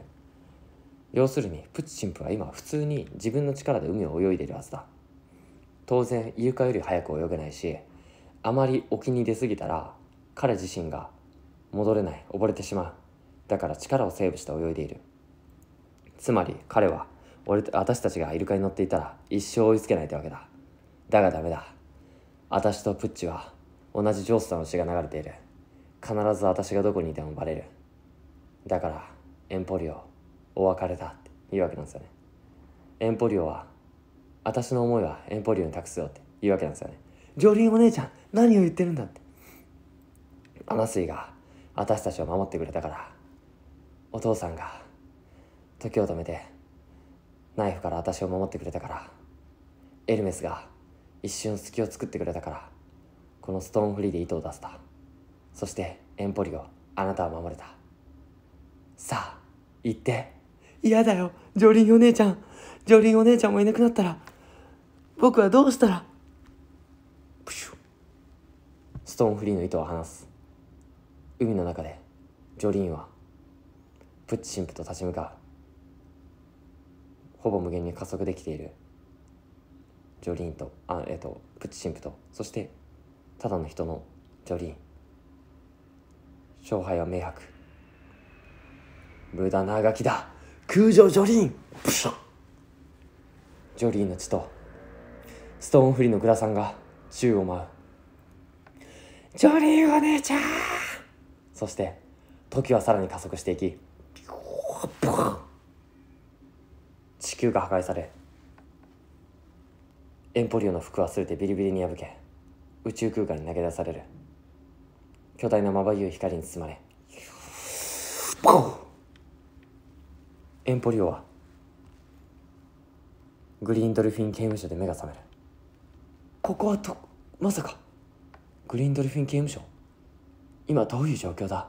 さっきまで僕はプッチ神父に追われて。面会？あ面会室の目の前にいる。この場所は記憶に覚えがあるぞ。僕が初めてジョリンお姉ちゃんと出会った場所。ジョリンお姉ちゃんに対して絶対に言っちゃいけない。こっから先進んだら死よりも苦しい体験をすることになるってジョリンお姉ちゃんに忠告して僕のお母さんの仙骨をジョリンお姉ちゃんに渡したあの場所。面会室とちらっと覗く。ジョリンお姉ちゃんに似た別人のお姉ちゃんが空城城太郎に似たブサイクなおっさん。空城城太郎と同じような格好をしている。けど顔は城太郎よりもブサイクなおっさんに対して「私のこと舐めてんのか？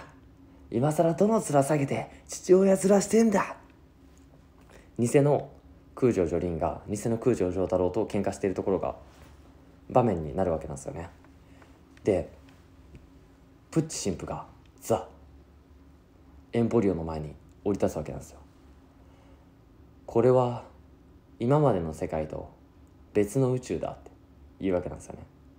一巡したもう一つの宇宙だって。エンリコ・プッチなぜいる？幻じゃなかった。私の能力で世界を加速させた。宇宙を加速させた。エンポリオ君は博識だから知っているだろう。宇宙っていうのはインフレーション理論。ビッグバン仮説によって生まれた。何もないところから急に宇宙が膨張し世界が生まれた。そして今なおラッパの吹くところみたいにラッパの口みたいに宇宙は常に拡大し続けている。そしてある得意点まで宇宙が膨張したらその後は宇宙は一つに収束する。そしてまたビッグバンを起こす。このような仮説がある。そして私のメイドインヘブンによって一度宇宙を最大限まで加速させ収束させもう一度作った。それにより私たち人間は今後何が起こるのか理解ができる。何を言ってるんだっていうふうにエンポリオになるわけなんですけどもう当然プッチ神父から逃げるわけなんですよね。だったらその看守たちがあのこの刑務所をうろついてるわけなんですけど前の世界では看守はこの後転んでいたはずなんですよね。ただ看守は「あれ？俺はこの後転ぶ?」みたいなこと言うわけなんですよね。何言ってんだおめえ？いやけどそんな気がするんだって。慎重に歩くわけなんですよね。でエンポリはその様子を見てでプッチ神父が補足し出すわけなんですよね。私が言う天国に行く方法というのは未来を知ることだ。どういう未来になるのか理解することで覚悟ができる。運命に対して覚悟ができる。だから強くいられる。それが私の目指す天国への生き方なんだ。天国の世界なんだ。っていうわけなんですよね。果たしてそれが天国かと言われたら人それぞれ価値観とか解釈が違うかもしれないですけどプッチ神父は天国に行く方法をついに実現させるわけなんですよね。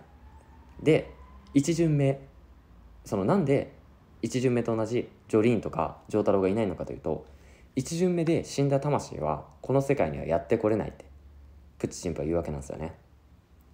つまり一巡目の世界でエルメスやアナスイや丈太郎やジョリーンは殺されましたよね。でエンポリオは死なずにイルカに乗っていたからこそ宇宙の加速についていけてこの世界に今いるわけなんですよね。ただジョリーンたちはいないからジョリーンたちの代わりに別人がジョリーンたちの役をしているわけなんですよね。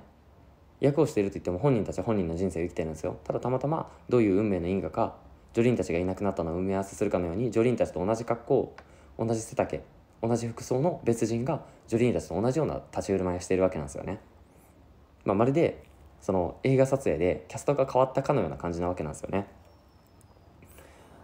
で新月の先ほどまでの戦いは2012年3月だったわけなんですけどジョリーンが刑務所に来たのは4か月前2011年11月なんですよね。今は2011年3あの2011年の11月なわけなんですよね。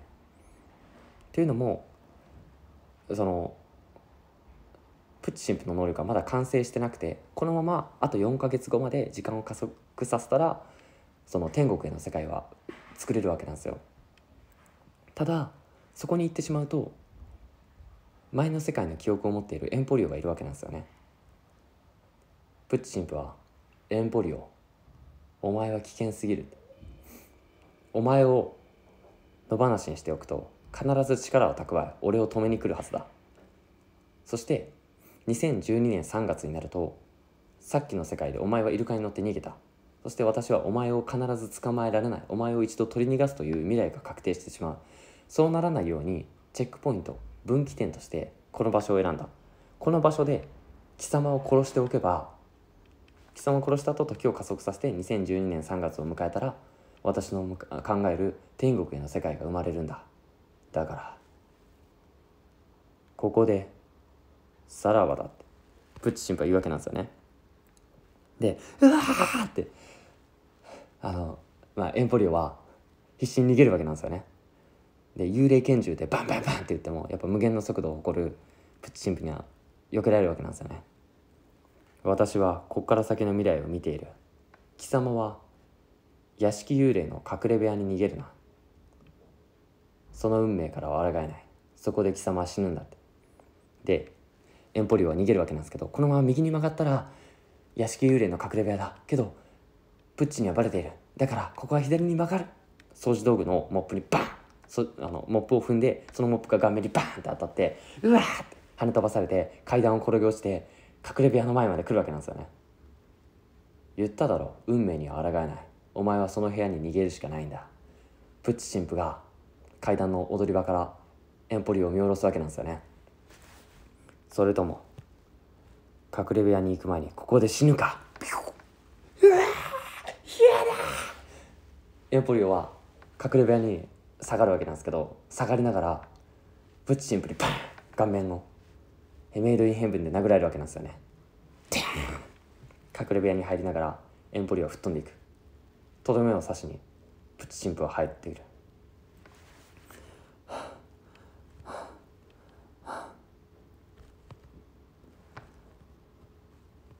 エンポリオもう終わりだ。諦めろ。いや諦めない。追い詰められたのはお前だ。エンリコ・プッチ。何？エンポリオは立ち上がる。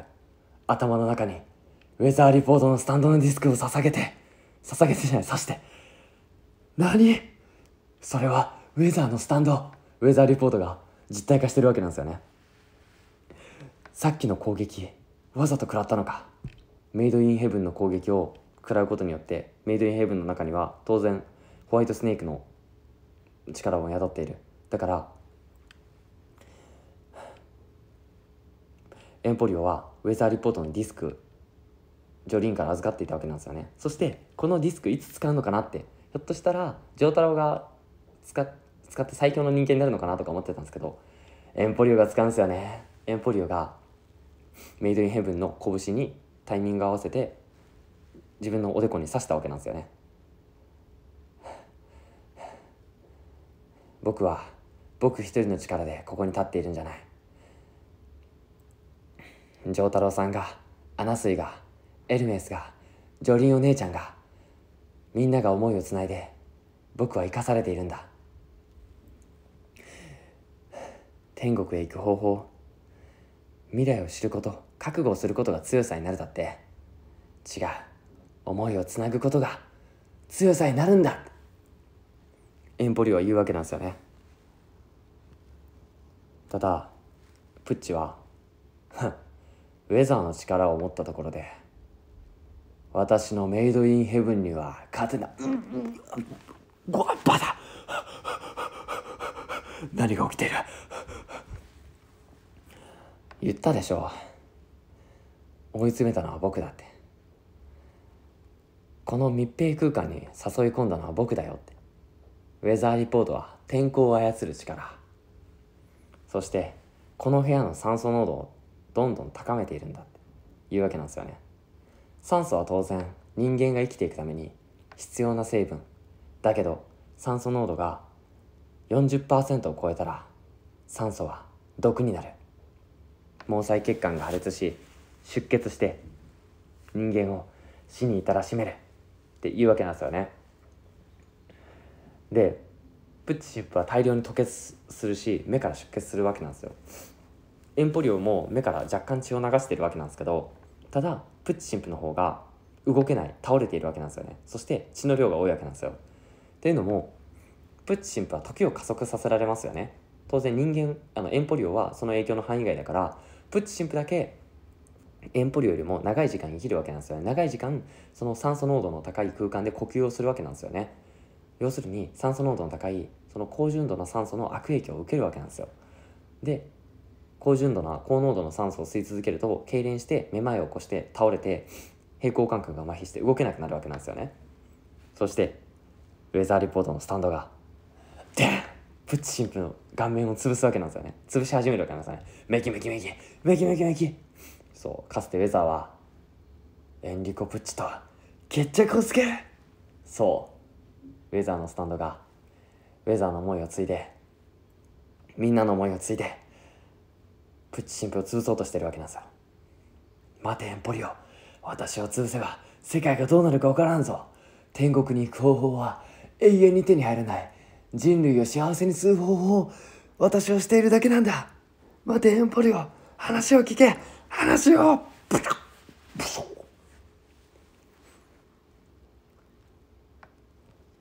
クソガキが。エンポリオがウェザーがプッチ神父を倒した。そしてなんか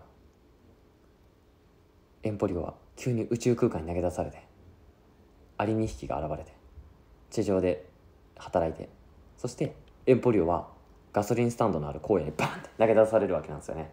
なんでアリの描写が出たのかちょっと謎なんですけどプッチ神父にとってはアリンことしか思っていなかったそんな雑魚い存在に一矢報いられた全部盤上をひっくり返されたっていうメタファーなのかなっていうふうに比喩表現なのかなっていうふうに僕は解釈したんですけどちょっと皆さんのあのアリンコの描写の解釈を教えてください。でエンポリオはガソスタの荒野のガソスタで目が覚めるわけなんですよね。はっはっはっここはどこだってなるわけなんですよね。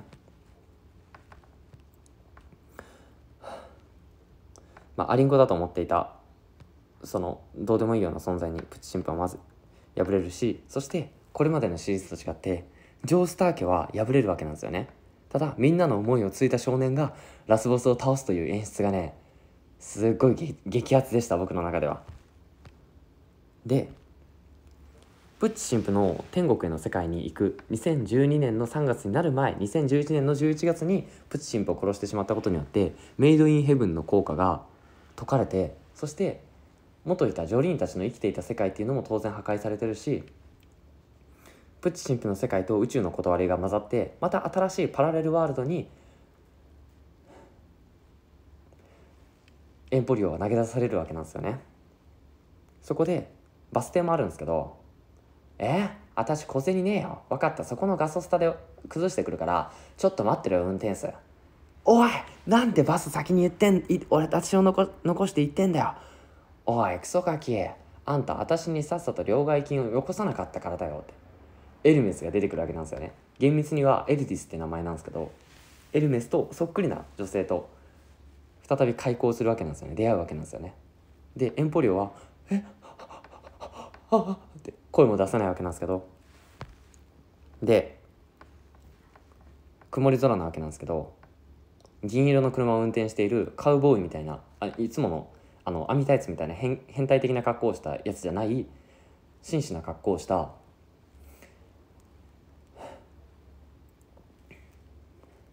アナスイが「キキ車を止めておいあんたらうちの車乗ってくかい?」って言うわけなんですよね。で窓を開けてジョリーンが顔を出して「あんたら乗ってきなよ」って言うわけなんですよね。私の彼氏悪いやつじゃないんだよって。これから私と私のお父さんに挨拶しに行くところなんだ。私たち結婚するの。っていうわけなんですよね。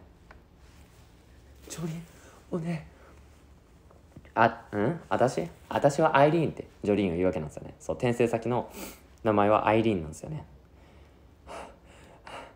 でまあ魂は同じ。見た目は同じ。ただ名前や記憶は違うって感じなんですけど。でお父さんに挨拶しに行くってことは多分ジョリーンのお父さん丈太郎も生きてるわけなんですよね。雨が少しずつ降ってきた。エルメス改めエルディスもマジか。だったらガソリン代あのアナスイが言う通りガソリン代と飯おごるからけど私10ドルまでしか出さねえぞ。けど乗せとってくれ。助かるって。船に乗り込むあ船じゃない車に乗り込むわけなんですよね。でエンポリオも「うん。僕の名前はエンポリオ」って言って車に乗り込むわけなんですよね。で車は進むわけなんですよ。だったら「おいこんな時にヒッチヒッチハイカーか？おい運転手あんた待ってやれなよ」ってエルティス言うわけなんですよね。でバックパッカーウェザーリポートが手を挙げてその車に乗り込むってところで第6部「カン」そして空には FF を含めアナスイやジョリーンやエルメスやエンポリオやジョータロたちの顔が浮かび上がって上がって「ジ・エンド」ってなるわけなんですよね。素晴らしかった。面白かった、はあめちゃくちゃよかった。で原作の漫画の方だと FF がいないらしくてその中にねちょっと物議を醸したらしいんですけど、まあ、FF は前の世界でしあの死んだしその FF は私と同じようなフーファイターズは生まれるけど私と同じ記憶を持った私はもういないんだっていうふうに言ってたところから多分その意図を組んで FF は最後に原作の方では出さなかったんでしょうけどアニメの方では出してくれたわけなんですよね。まあ、どっちのエンドもあっていいんじゃないかなと。で最後にエンディングというかエンドロールが流れるんですけどかつての第1部から第6部までのなんかシルエットというかそういうオリジナルムービーみたいなのがもちろんセリフとかもないんですよ流れてあそうそう第1部はこんなストーリーだった第2部はこんなストーリーだったみたいなシーンが流れてジョセフ・ジョースターとかジョナサン・ジョースターとか空城城太郎の旅だったりとか第4部のあの、えっと、神保町だっけな何町だっけ忘れたんですけどあの東方丈介の話だったりとかそしてジョルノン・ジョジョバーナのあのイタリアでの話だったりとかが一瞬浮かんでそして第6部の映像が浮かんでカンってなるわけなんですよね。そして第7部「スティールボールラン」はこの新しい宇宙から物語が始まるんだと思うんですけどまだ見て原作僕知らないですよね。ちょっとしか知らないですよね。ジャンププラスで無料で読める範囲のあの12巻しか見てないですけど。はあよかった。めちゃくちゃ面白かった。はあ。その見終わった後のあーっていうこの噛みしめる感覚がねめちゃくちゃ長かった。どの作品も面白かったけどそのなんだろう。例えば第4部だったらその丈介があの光一君たちに「さあ行こうぜ」みたいな風になって日常が続いていくっていう終わり方だったんですよね。でえもうもうちょっと見たいっていう風になってたんですけど第6部はもう完全にいいラストでしたって。素晴らしい芸術作品を見せてもらったって感覚だったんですよね。あと1個忘れてたのが加速した世界の中であの 岸辺露伴先生だけが漫画描けてたっていうね。そのインクが一瞬で乾いてしまうから描けないはずなのに岸辺露伴先生だけ超スピードで漫画を仕上げるっていうのがシーンがあってそこだけなんかすごい面白かったんですけどいやこれまでと違ってさっき言ったんですけどもうなんだろう第3部最強の魔王ラスボスディオ。で第4部日常に潜む殺人鬼キラヨシカゲ。で第5部の闇を束ねるマフィアのディアブロだっけ。で第6部はその自称正義のあの良かれと思って正義の押し付け合いのプッチ神父。そしてこれまでのラスボスのディオの力を取り込み進化しまくる。発展途上のラスボスプッチ神父をそして彼もなんか素数数えたりとかなんかね憎めないキャラなんですよね。そしてそんなラスボスとジョースター家がついに敗北すると。ジョースター家の血が耐えてしまうと。だけどただのモブキャラだったはずの少年がみんなの思いを継いでラスボスを倒すっていうところがねなんかアクセント聞いてて面白いなーって。これまでの主人公補正が聞いてはいはい終わりでしょっていうやつじゃなくててかジョジョの世界って主人公補正あんまないんですよね。みんな毎回死にかけになってみんな毎回頭をひねりにひねって気合とか根性じゃなくて試行錯誤で敵を倒しているっていうところがジョジョの面白いところなんですよね。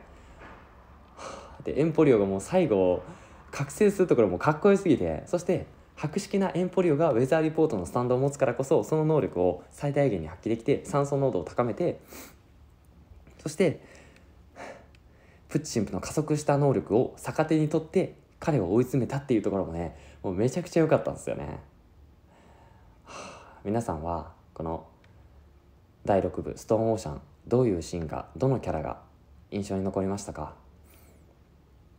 皆さんの好きなシーンとか好きなキャラとか。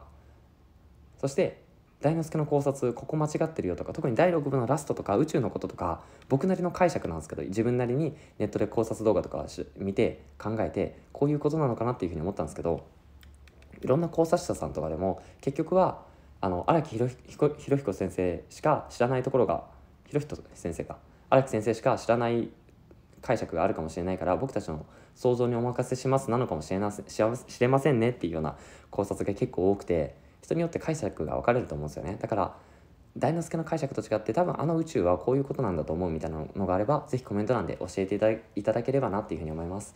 何にせよめちゃくちゃ面白かったです。ということで今回は長くなっちゃったんですけど僕の好きなアニメの「ジョジョの奇妙な冒険第6部ストーンオーシャン」アニメ第3期について紹介させてもらいました。ということで今回は以上。バイバイ。